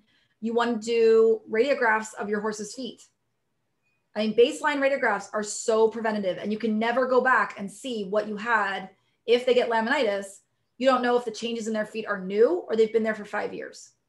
So, personally, I would talk to your veterinarian about, you know, if you do vaccines or you do spring evaluations or health checks or whatever you do routinely, then also ask for them to create a package for you of inexpensive baseline radiographs.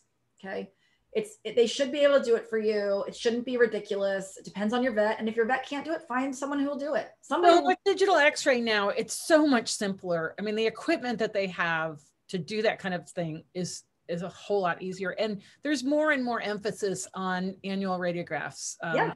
Dr. Kelleher talked about it. Some other people in webinars have talked about it. Um, so I think that's starting to move into what we think of as routine annuals. Yes, exactly. Exactly.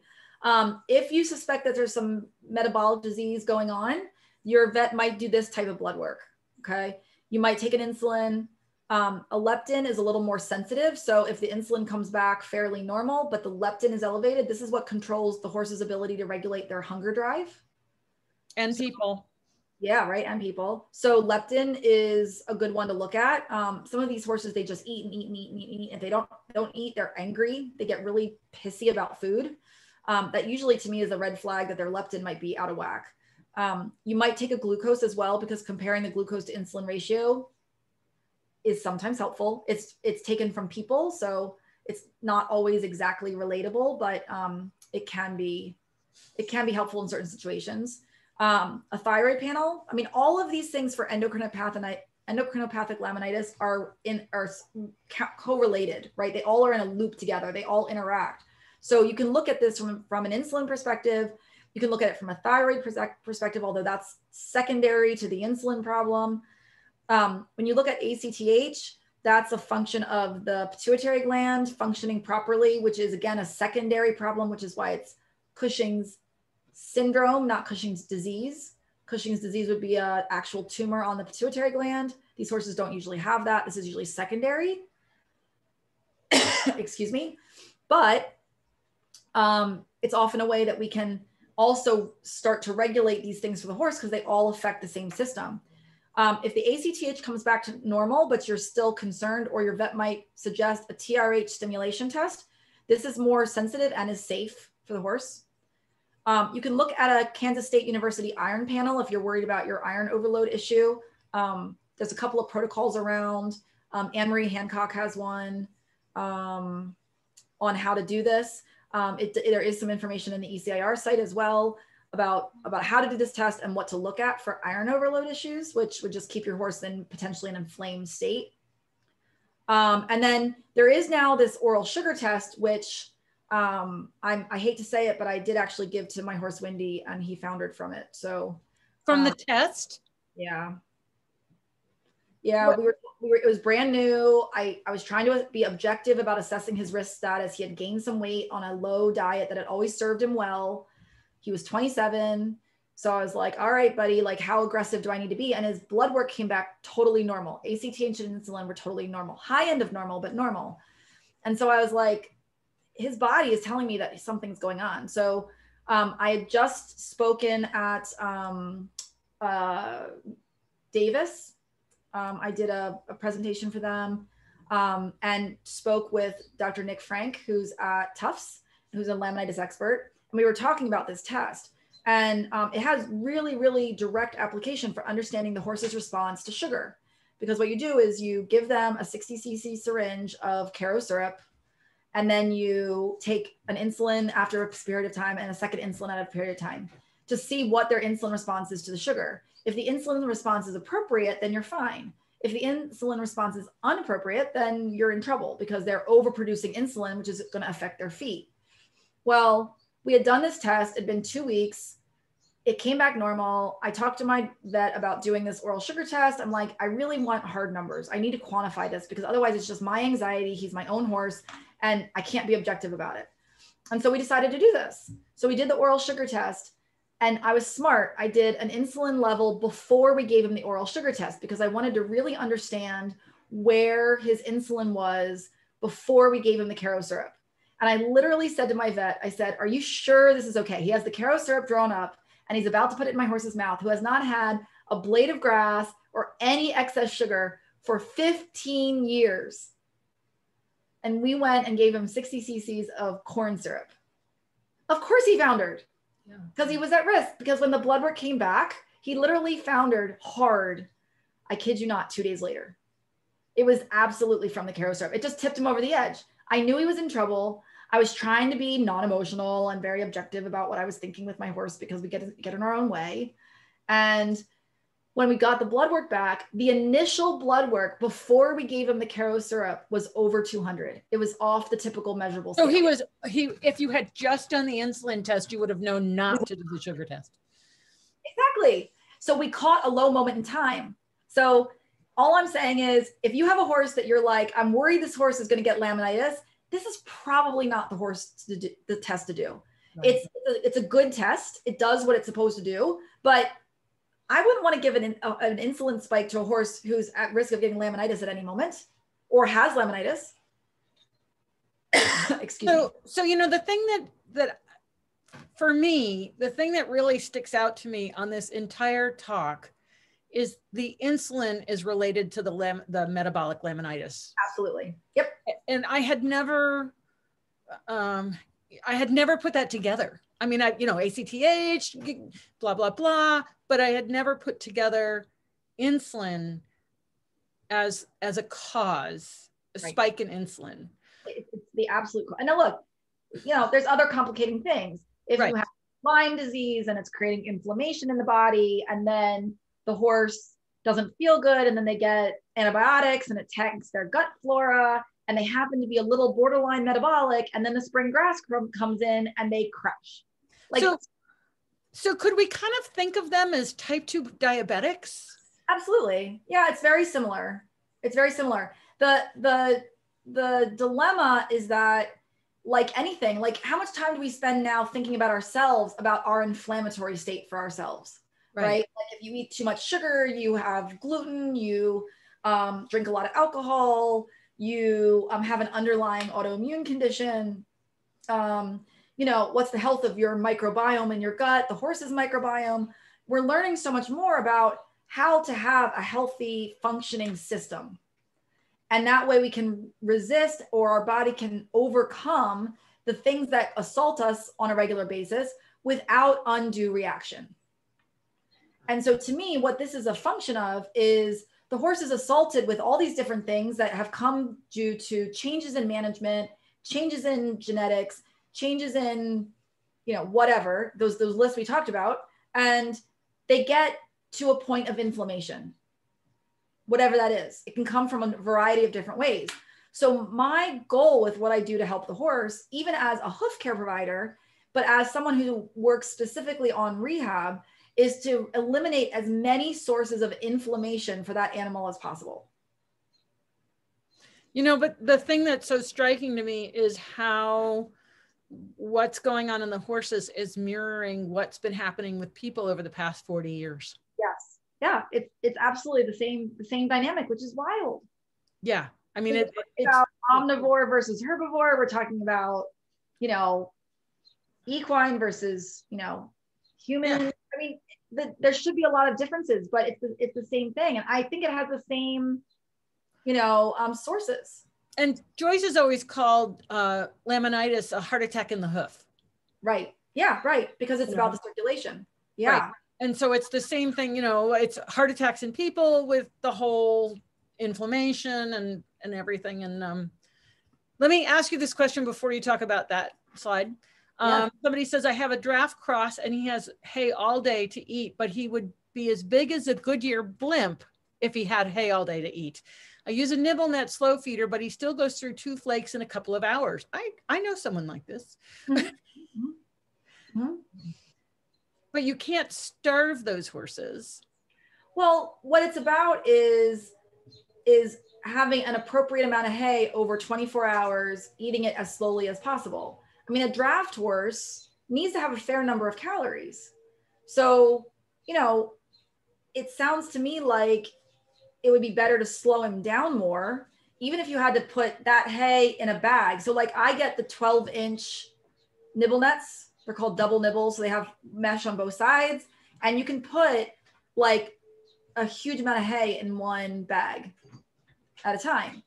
And then if they needed to slow down even more, we would put a net around the hay and put that in the nibble net. So like a regular hay net and put that in. So then they have to get through the little crevices even more. You make them work harder. Yeah, to slow them down, but they're still eating. Now, when when the horse's leptin wasn't controlled, then they get so angry at those hay bags and having to work so hard to get the hay out, they would bang them. Like they would like bash them and kick them and bite them and they get really angry. So if if you really feel like you're trying to slow him down, he's not slowing down, I would look further because he should be able to self-regulate to some degree, right? right? Well, and you know, Al's a draft cross, and when he came as a child, he did not lift his hay out of the round bale. But you know, we have a net. We have a net over the round bale. We have to feed round bales because he is a hay burner, which is a draft horse. That's what they are. Um, but he self-regulates. I mean, I see him many times now just standing quietly. So, so if you have a horse that can't seem to get enough like that, then we need to look at those leptin levels and figure out if there's if there's something. I've heard I've heard Dr. Getty speak many times about that horses should have free choice hay, and if you give them free choice hay, they will eventually self-regulate because they stop being so worried about not having hay. Um, you know, I think with our metabolic horses, I think we have to take that with a grain of salt because if they're just getting too many calories, you can still run into the same obesity issues. So knowing your horse's weight, doing a weight tape, you know, once a week, once a month, using the same weight tape, using the same technique in the same place, you're looking for a change of weight over time, not how much exactly does this horse weigh. So a little bit of variability is okay because what we've learned is weight tapes are actually fairly accurate. And you know you can you can certainly look at oh my my horse has gained 20 pounds. I better be careful with what's going on with his calorie intake. Or oh you know my horse is losing the 10 pounds a week. We're on the right track. We can keep doing what we're doing. So you know the weight tape is your best friend when you're trying to be objective about these things and keeping a chart and keeping notes. You know we keep notes on the weight on every horse here. We weigh them you know every monday. Yeah i think we really need a webinar on on what your management system is there because every time yeah we keep getting other little tidbits like we weight tape every every yeah absolutely. Okay. I don't know are we out of time? I feel like we've there is no time in this webinar. Keep going. Okay good. Okay so now now comes my part right which is like what do we do about hoof care? Because there's all these different things we're going to do when it comes to laminitis. Every single one of these things here is something someone puts on a foot for laminitis which is bananas that there's so much variability right? Like somebody once said to me, Oh, you could nail a banana on a laminated court foot and they'd do well. Okay, I'd like to see that. Yeah. Right? Yeah. Um, so, you know, my go to for my acute horses, and that's if they're acute or chronic subacute, is going to be a boot, either a soft ride or a cloud. I tend to gravitate towards the clouds because they're lighter, um, but the soft rides are nice as well. If that's what you have, that's great. One of the things I really appreciate about these boots is that they are on a wedge the pads in them are on a wedge. Now, why would that be important? because we have the whole like when you when you work on a laminitic horse, are you going to raise the heels or lower the heels? We have this whole debate. There's a whole school of people that believe we need to relieve tension on the deep digital flexor tendon on the back of the leg, raise those heels because the tendon is pulling the bone out of position, right? And then there's a whole nother school of people that are like, that's baloney. We need to lower the heels, absolutely lower the heels, get the heels down, get realignment no matter what. So, my response to people with these things is there's no way that there's this brilliant group of people that believes you need to raise the heels, that they're all wrong. And then there's no way that there's this amazing other brilliant group of people that believe that we needed to do realignment trims and get the heels down. Like there has to be something that's that's a difference between them. So to me, what it's about is that when you have an acute horse and it's this chronic subacute kind of thing, yes, you want to to do a, a realignment trim, and we can talk more about that or not. You know, that's like a whole nother thing. But what that means is correcting the rotation or the displacement of the bone. But when when people talk about the tendon pulling the bone out of position, what they're talking about is if you have this foundered laminitic hoof capsule, this bone should be in alignment. And I have a picture of that to show you. It should be in alignment here, you know, more tightly with the capsule. And you've got a big dish and deviation here. And this bottom of the bone angle should be ideally between five and eight degrees. And this horse's is 15 degrees. So this is a problem, chronic, subacute laminitic foot. And so that tendon, you can actually see it in this radiograph here. It goes all the way down over the navicular bone and attaches to the bottom of P3. So it is not the tendon pulling the bone out of, out of position. I think this has been poorly communicated over time because what's actually happening is in locomotion, how does the horse break over? Wendy Murdoch. Is that you're asking that as a question? You mean yeah. how, how, how physically it's yeah. the last thing to leave the ground as the horse raises the is that what you mean? Yeah. So like the phase of the stride is right. breakover yes. is when the heel lifts off and then the toe leaves the ground. That's right. like okay. phase of breakover, right? Yeah. What what causes the leg to do that? Wow, the nervous system. okay, how about what brings the foot along? You've got this nervous system with all these oh. ligaments and muscles and tendons and bones, and the foot has to get off the ground and travel forward and land squarely on the ground. What is responsible for that breakover phase of the stride? Well, it's going to be the length of the toe in terms of wet. No. Nope. I hate these test questions. no. Let me tell you? Well, it's, I mean, in locomotion, you're going to have a contraction of muscle. It's going to change the joint angles. It's going to lift the leg so it travels through the air and then it's going to land. Yes. And so, what the mechanical that, length of the toe is going to determine when that breakover occurs in the stride. I'm not talking about when, I'm talking about what brings the foot. Oh, well, it's going to be the contraction of the uh, flexors. Correct. The deep digital flexor muscle, which pulls on the tendon, correct? Oh, I see where you're going. Okay. Yeah. So here's the problem the tendon pulls on the bottom of the bone and then the foot comes along and then the extensors pull on the front of the bone and help the foot land flat in the landing phase. Correct. Okay. Yep. Okay. Yes. So sorry, I was being really linear and you have so much knowledge about this. You made it really complicated, but it's lovely because I was right with you. Um, but linearly, what pulls the heel up off the ground and initiates breakover is the deep digital flexor tendon and muscle. Well, actually, it's the muscle attached to the deep digit. Correct. And the tendon comes along, right? Right. I know we have these layperson ways of describing things and it confuses things.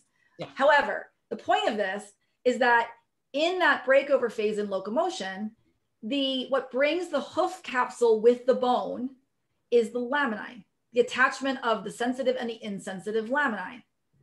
So if you put leverage on the bottom of this bone, so you take this badly modeled founder coffin bone, down here is where that tendon attaches. Right. And if you take that and you pull on it and the laminae that attach the capsule are not well connected, it's going to pull it further apart.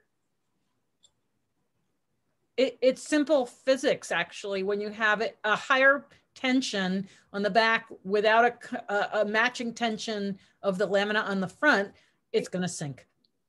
It's going to detach. There's going to be leverage on something that's not solid, is the way that I think about it. You have a more elo eloquent way of saying that, but so so we say, oh, you know, the, the tendon pulls the bone out of position. No, but the action of normal locomotion has a consequence in this effect.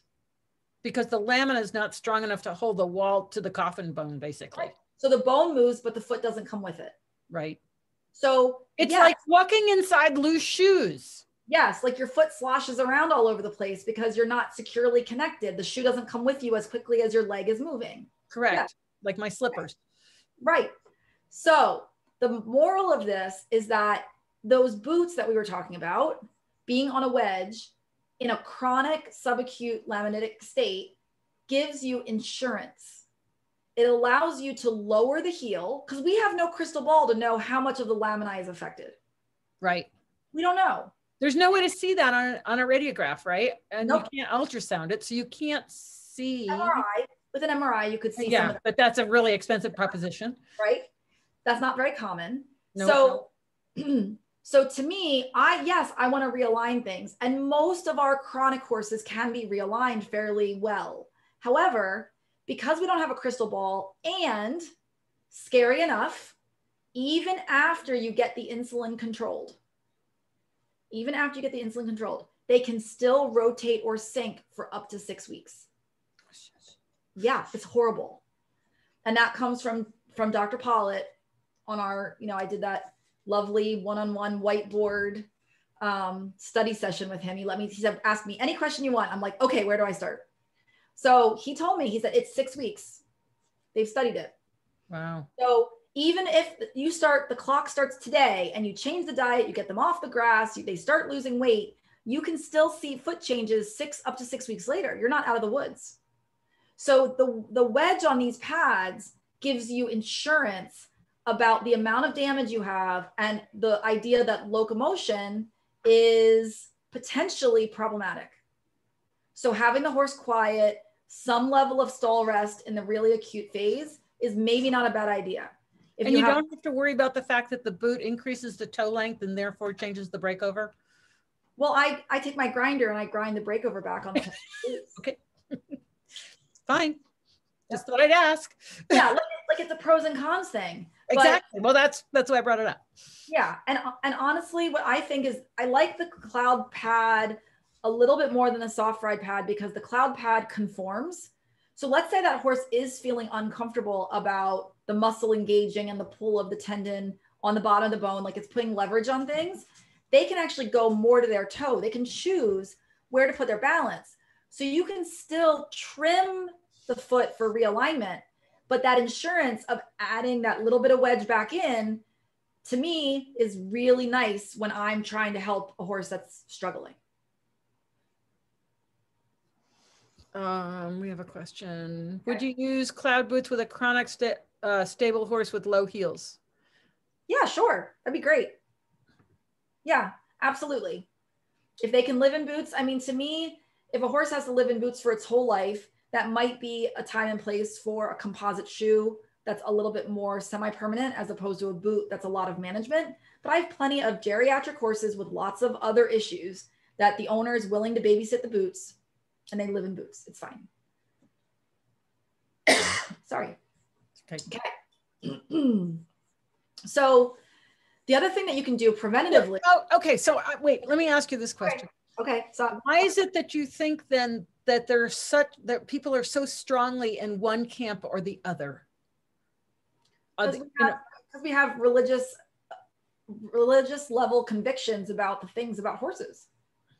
Yeah okay. About anything you know? No it's true. I mean because i mean what what we've just talked about makes so much sense to me just understanding forces and physics. Right. Um all these people can't be completely wrong right? Like people that say, oh, you cannot glue to the sole. You'll make a horse dead lame. Well, yeah, sure you can, but I do it every day. So I figured out a way to do it that I don't make them sore. So anytime you say always, never, yeah, right or wrong, you're eliminating your brain from processing possibilities. And that's why I do all the documentation that I do because I want, like, I have such an A type personality and I'm so almost no kidding. Yeah, so OCD about these things. My apprentice Kimmy today made a comment that made me laugh. I'm a mess with everything. I garden, I get dirt everywhere. I eat, it's all over me. Like my brain is 16 places and you know, everything's chaos unless I'm trimming and shoeing a horse. So somehow in that moment, I can zero in and I get very focused. And it's like all my controlling thought processes focus right there. And that's what the documentation has given me because I'm able to look at things completely objectively and measurably over time. So, over 17 years of this, I have a really, really good idea about hey, I did that and this happened. And then I did that and this happened. And then I did that and that I didn't like the outcome of that because we learn the most sometimes when we make mistakes, right? Absolutely. Yeah. Yeah. So so guess how I learned that you can't always lower the heels on these horses because sometimes I'd lower heels and it would backfire on me. Right. right. And I studied with all the different mindsets. I was open and I studied with everyone because I like, how is somebody raising heels 22 degrees and helping horses with laminitis? Like, I want to know what they're doing and why they think that that's beneficial. And I saw the benefit of that. But I also learned the time and place for it. I and I think I think you just hit the nail on the head there that you need to explore all the options and then you pick the option that's right for the thing in front of you. Right. And you can't uh, you know, when you start making generalizations about how something should be done, you're not taking into consideration the the specific one that's in front of you in that moment and that's the one you have to deal with exactly because that these things are you know complex systems they're not simple systems we don't have a car where you know your timing belt breaks you replace your timing belt everything runs again it's not right. like that right law of un- unintended consequences input Absolutely. a doesn't always come out c right so you know you learn that when you are meticulous in your study Yeah. so, you know, I just I've learned there's there's never a never, right? There's never an always. There's always a time and place. I used to say, "Oh my gosh, why would you do a hoof wall resection? That's barbaric. Why would you cut the horse's tendon in laminitis? That's awful. Tendon doesn't pull anything." Well, guess what? 25 horses I've worked on have had tenotomies with brilliant success. So there's a time and place for it, but you have to be selective and know when and be educated. Yep. Okay. Okay. Cool. I love Onward. it. Okay. So, you know, in my teaching program, I've narrowed down hoof types that you can see externally what's on the outside of the foot, and you can narrow that down into what's going on on the inside because not everyone has access to radiograph.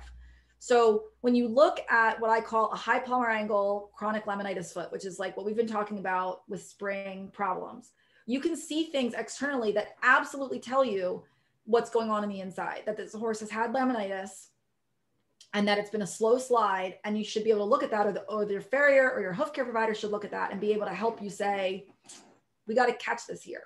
Okay. So, um, when you look at these feet, they're going to have a hoof pastern axis that's broken forward. Now, this horse actually doesn't, which is interesting. But we ideally on a normal foot, healthy foot, we want the hoof pastern axis to be generally very straight, which means these joints line up to center of joints like so, okay? In chronic laminitis, usually this axis is broken forward in this direction. And what that's about is the, the phalangeal rotation. So your, your bones in the distal limb or the, the lower limb of the foot would be considered your phalange, right? So phalangeal rotation is when the axis of the coffin bone rotates away from the pastern. And then capsular rotation, the hoof capsule, is when you have the capsule that is not a, no longer aligned with the bone because this growth should be parallel to the bone and this bottom angle should be no more than eight degrees. So when you see those things going on internally, you when you see that internally, there are correlating things externally, like the white line will be stretched. Okay, so on this foot here, you can see that the white line, which I have pictures of, and should be normally one eighth inch thick, is very wide here. Okay. The farrier who trimmed this horse trimmed him three days before and said, I can't pull the toe back any further because he'll bleed. Because we're taught don't go into the white line. And he didn't recognize the stretched white line. And this foot matches this radiograph. Look how much toe is there. Yep. And toe leverage on these horses is a bad idea. So you know, I was called in by the vet because the vet said we need to we need to take more on this foot. That's okay. Good job. Thanks for trying. We're gonna do more. Okay. You might have um, flat sole at the toe. This horse is very flat with a good bruise here. You might see presence of hoof rings, right? Hoof rings can be nutritional changes, systemic changes, stress, can be a diet change in a positive direction, but concentric hoof rings, especially if they're wider at the heel than the toe, meaning you have more circulation at the heel than the toe, would be an, an indicator of chronic laminitis. So if you have hoof rings, don't be complacent about that. Start asking some questions. Your horse should not have hoof rings. Okay. Um, you might have deep collateral grooves because. Can I just ask one question on that? When when you go from winter to spring, is it not unusual to have a hoof ring just because of the change in this the seasonal change and the change sure. obviously changing grass, but a single hoof ring. Okay. Okay. Yeah. You have a diet change, you're going to get a ring and a change of growth above it coming in. Okay. Sure. But if you have like multiple hoof rings, that's a sign of inflammation. Okay. Period. I just Period. wanted to clarify that a little. Thank you. Good one. Okay. Um, you might have deep, deep collateral grooves around the frog because you've got a lot of room here, height in the frog. You're probably going to have a dish to the dorsal wall. Your coronary band angle. Now this one's a little funky because he's got quite the um, uh, rise here in the middle, but it's going to be shallow. There's a direct relationship between the the angle of the bone and the relationship, if I can do it this way, this way, coronary band. Okay, so if the palmar angle is high, the coronary band is shallow. If the heels are too low, the coronary band is steeper. Okay. Okay, so you can you can relate that. Um, and then of course the pain level of the horse might be telling. But if you don't have pain, you can still have laminitis, like we talked about. So you'd want to look for some of these things. Okay, just to give you an idea of what the hoof capsule on a healthy foot might look like versus a foundered foot. Okay. This palmar angle is six degrees. This one is 14 degrees, that bottom angle of the bone. There's a dish to the dorsal wall. See how this coronary band angle is more shallow compared to this one being steeper? Just slow down a little bit, okay? Sorry. That's Cover okay. so the the one on the right is uh, steeper. Yep. This bottom angle is steeper. Okay. So, so the, the coronary band, just do the coronary band again this one right here, yellow right here. Yeah, okay. How it's like more parallel to the ground, and this one has a little more of an acute angle on it. Okay. Okay. Um, the dish to the dorsal wall. This one, the growth is parallel to the front of the coffin bone, which would be normal. Okay. Just some things to look at. This was a chronic subacute laminitic foot. This was a healthy, sound horse that was jumping Grand Prix. Now your little purple dotted line. Yeah, this one or this one? The darker purple, but both of them actually. Okay. Okay. So this one is a representation of the corium. Our radiographs are so good now. You can actually see where the blood and nerve supply is around the bone on a lot of these radiographs. Okay, and sometimes in laminitis, the, cor the corium elongates or gets really thick and wide. So if you're a hoof care provider or you are a hoof care provider, look for where that corium is because sometimes if let's say you have like a lot of ski tipping going on, it can come all the way out here.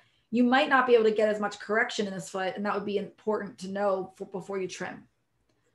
And then this dark purple line here is the um, palmar curve.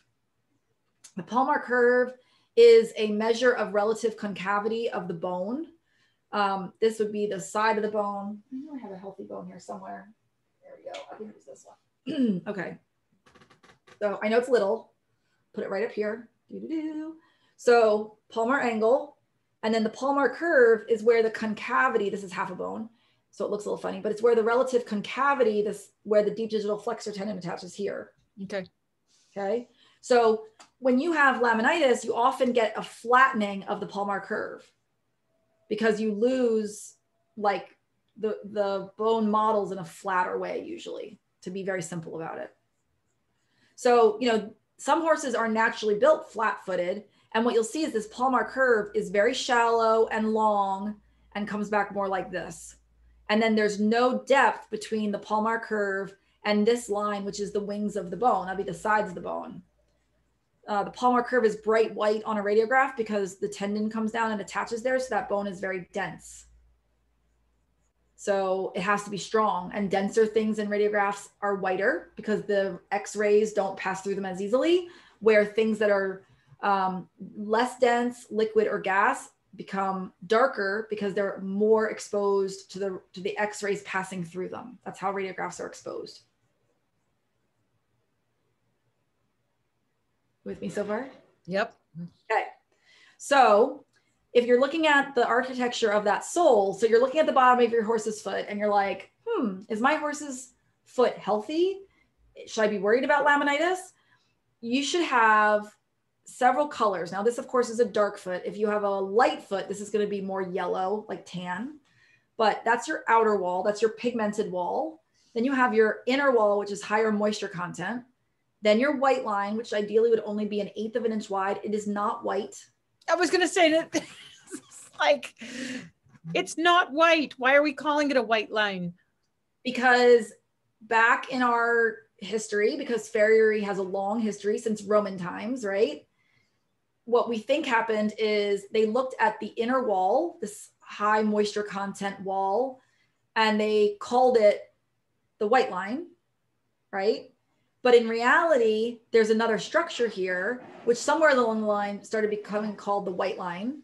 And so when you look at old texts of, oh, you want this one? Okay, sorry, dinner time. Um, when you look at old texts of drawings of the anatomy of the horse's foot, it shows the white line going all the way to the coronary band, which it doesn't. The white line grows from a blending, never mind, it's too complicated. The white line grows from the bottom of the coffin bone. Let's just say that the rim of the bottom of the coffin bone. You listen to Bob's lecture if you want to hear more about that. Um, but, um, but when you look at the inner wall, it does go all the way to the to the coronary band. So there's there's been a switch of names here. So some people call this the golden line. You know, you hear water line thrown around. Suffice it to say, your white line should be an eighth of an inch wide, waxy in, in appearance and tight like this. Okay. And, and it's really not white. And it's not white, it's really yellow. And it what's job is to seal the sole to the wall. That's the job of the white line, period. It prevents the infiltration of bacteria and debris. Okay. So when you have laminitis and you have chronic laminitis with rotation or sinking, that white line then stretches and that's what this is like. This is like a mild white line. And, you know, at some point, you know, I could pull up some slides for us that are pretty interesting where you can zoom in on these things and you can see the laminae that are stretched. It's wild. So what happens is that pulling, it elongates everything. The sensitive laminae get longer and certain parts of them break off and tear and rip and you get hemorrhage and it's bad. And then the, the insensitive ones, long, elongate, and so you get this widening, and it becomes like a scar. Is that what you call? What did you used to call it? The laminar uh, wedge. Mm-hmm.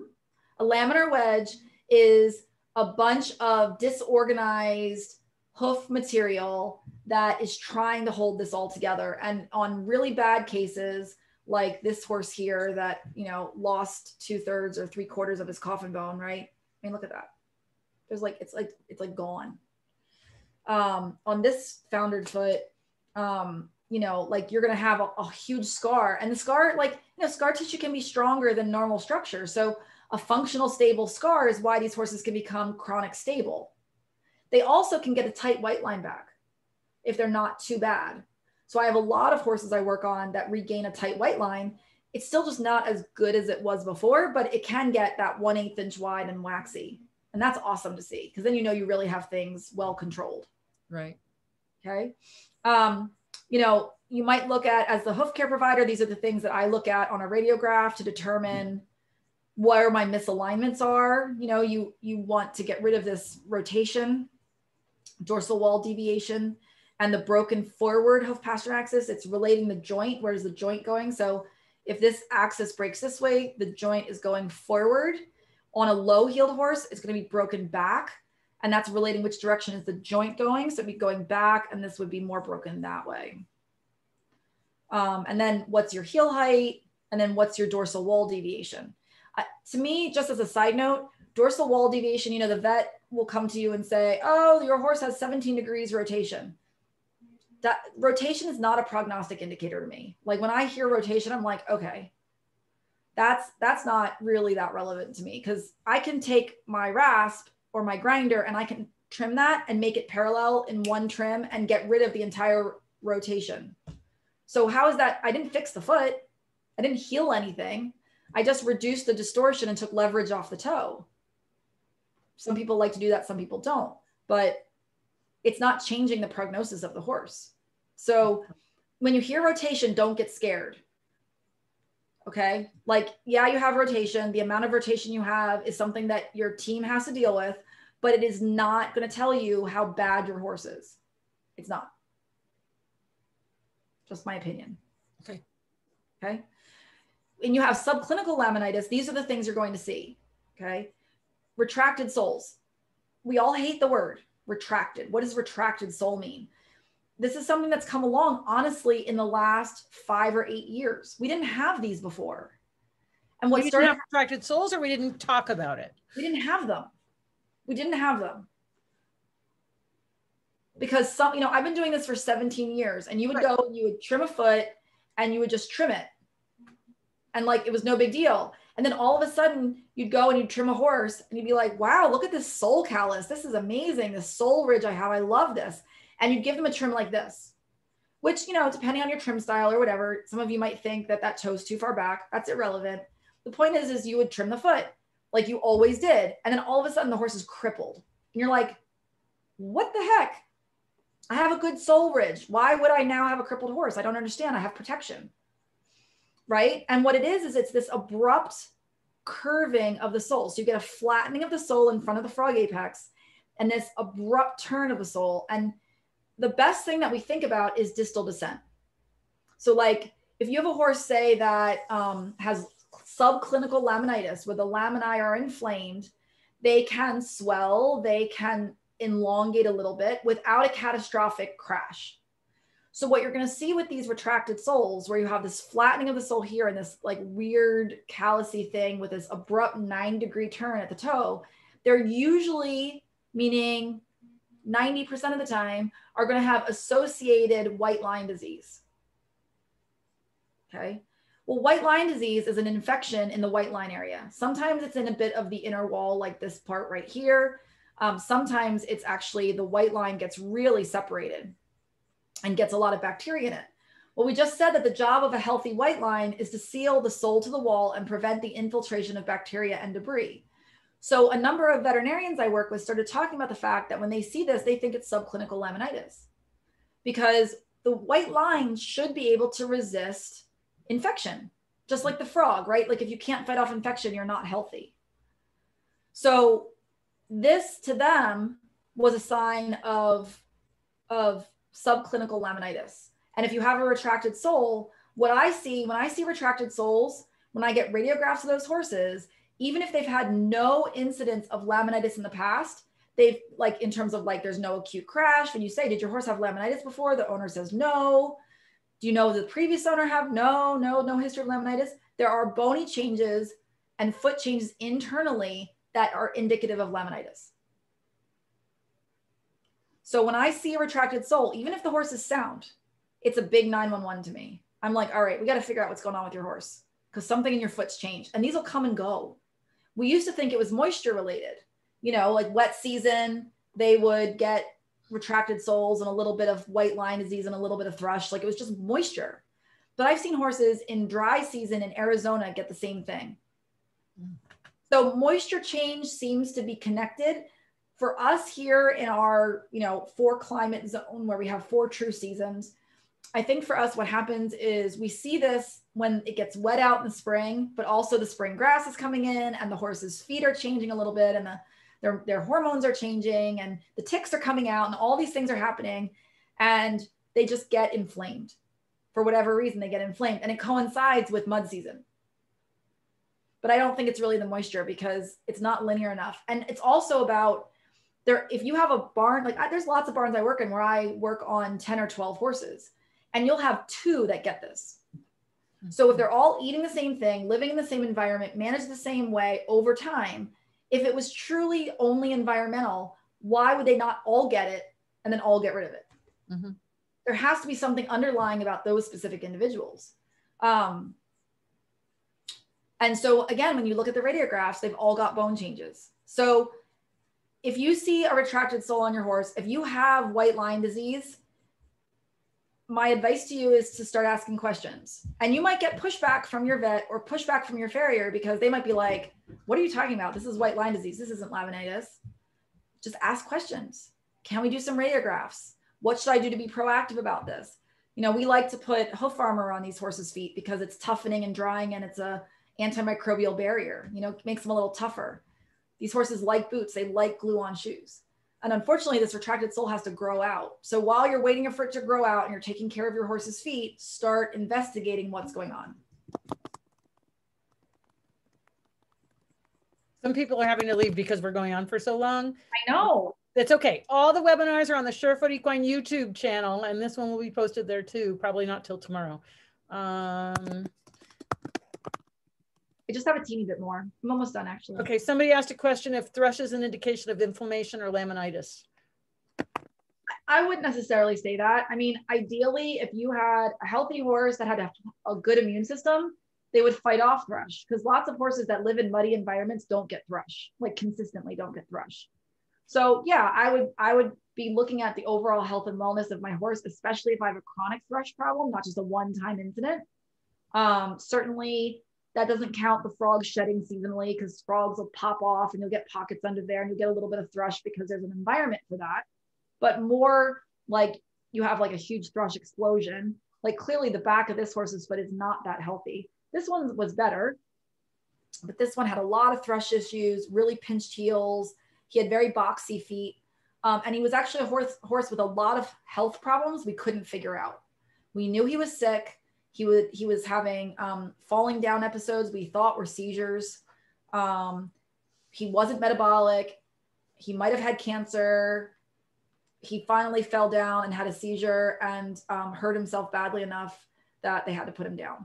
So we never figured out what was wrong with them, but this was really broken. This was a horse that was, um, this was before we figured out about retracted soles because now I would never touch that sole ridge because they just get sore um, but he was high in the toe. So I was trying to like level out his foot a little bit because they get this like ridge and you're like, oh, I just want to rasp that and take it down. And it's like, don't do that. Um, my advice. But um, this horse had a lot of bone changes on their radiograph. So thrush, you know, if it's a one-time incident, I think that's probably just reasonable. But if it's chronic or you're having a lot of trouble getting rid of it, um, I'd start looking at your horse's immune system and what's going on. You know, go ahead. Well, it just seems like the, uh, by the way, my cat alarm got, went off, but um, the health of the foot is a direct relationship to the health of the horse. I mean, no foot, no horse. It, we come right back to that again. Right. Absolutely. In fact, that, that brings up my next thing to look for, which is I think my last point, um, that this is a dissection of this horse's foot.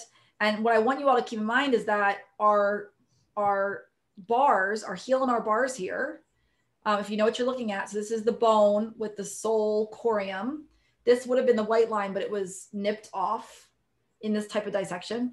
And then the sole was peeled back so you could see the inside of the insensitive sole, the inside of the insensitive laminae of the bar, and then your sensitive bar laminae and your coronary band and your sensitive frog. So it's basically open like a clamshell.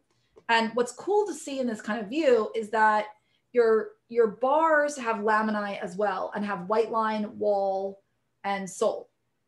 So the bar is a wall structure, which means when you have a low heel horse, they get stretched white line of the bar that to many veterinarians is reverse laminitis, is laminitis of the bar. So when we talk a lot about different trimming techniques, do I trim the bars? Do I not trim the bars? Um, I like to trim my bars so they follow the concavity of the sole because to me it's wall. And if it's too tall or if it's bent or broken or has an infection track, it's distortion. And I would like to build a non-distorted foot the best I can control. This horse had a big bruise and a big nasty abscess. And look here how this bar laminae, these are corns. This area is called the seat of corn. And this corn is this hardened, hyperkeratinized horn from these heels chronically curling in over time and being low heeled and having too much compression on the corium over time, which has created inflammation, which has caused stretching of the bar laminae. This white line should be one, one eighth inch wide um, and waxy and tight going through here. Like this one is tighter, but it's still, you know, some people call these bar smears, but reality, they're just stretched line of the line of the bar. So it's telling you that you've got a back of the foot problem. And notice that these horses also have thrush back here, right? So inf- inflammation. Um, so keep in mind that that that laminitis or itis of the foot, inflammation manifests itself in many different ways. And we're just really starting to catalog and understand when our feet are actually in trouble. So that retracted sole is a red flag. The white line disease is a red flag. If you have a horse that's considered thin soled, it's a red flag. Don't just be satisfied with, oh, my horse is thin soled. Figure out if there's something you can proactively do about it. If you have a horse that has low heels or heel pain or heel problems, think of it sometimes like laminitis. It's still an inflammatory problem you know, ring bone, side bone, arthritis, navicular problems, they're all itises. They're all inflammatory. So the horses I work with are inflamed horses that have either front of the foot problems or back of the foot problems. Sometimes they have both, and that sucks. Okay. So I just wanted to try, if you guys are thinking about, you know, the purpose of this discussion is what should I look for with laminitis? What what's in trouble when you get to the foot?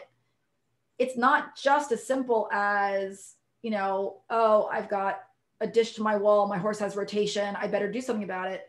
These signs can be really subtle that you're run, going to run into trouble. The body condition can tell you the um, other details about the horse, you know, maybe breed predisposition, because yes, we do think like thoroughbreds are a little less likely to get um, obesity related laminitis than say an Arabian, but thoroughbreds do. So don't say, you know, never, because I've worked on them. Um, and then if you have any of these other things going on, really think about the inflammatory state of your animal like you think about yourself. I mean, that's that's where I've gotten to with it at least. Okay, that was it. See, we made it. Woohoo! I know. It was a lot, and I tried to keep it very relevant. I hope you appreciate how I really tried to stay on topic. Yeah. Yes. And um, and and my battery's held up, so I'm really happy. Um, so so we've clarified that we at least need a discussion of what you do for management at Daisy Haven Farm. Okay. Yep. That um, insulin and laminitis are closely related, similar to type 2 diabetes in people, and you got to regulate that insulin. Which is um, why spring is relative. That's why we have spring. Spring right? And that there's a lot of signs that we can see in the foot long before we're ever in the in the red danger danger zone that give us clues. The contracted sole white line stretched lamina um, shape of the uh, coronary band. Have i got it right? Yeah. Yeah and this information is all available on my facebook page and in a lot of the hoof care groups i post things and um, you know we could even do something on distortions of the foot. Like how do you read the distortions on the outside to see what's going on on the inside? Because i love talking about that stuff. Because okay. you guys can train your eye. It's really no it's really important. So all right. So that means that i'll have alex get in touch with you to book you for april and may. Great. I love it, it out. Um, and you can tell her the topics because you'll remember. And i'm being alarmed at because it's dinner time for the cat and i'm all by myself. Yes. sounds like you've got some alarms going on by yes dinner time for the dogs. Yes thank you wendy. This is really fun. Thank it's you been fantastic. It's uh, you know it's such great information and it's and it's stuff that we can actually go out and look at our horses and employ. So thank you so much daisy once again for sharing all of your wealth of knowledge. Really really appreciate it. Thanks wendy. It's been fun. Talk soon. Yep. Bye everybody. See you later. Have a great night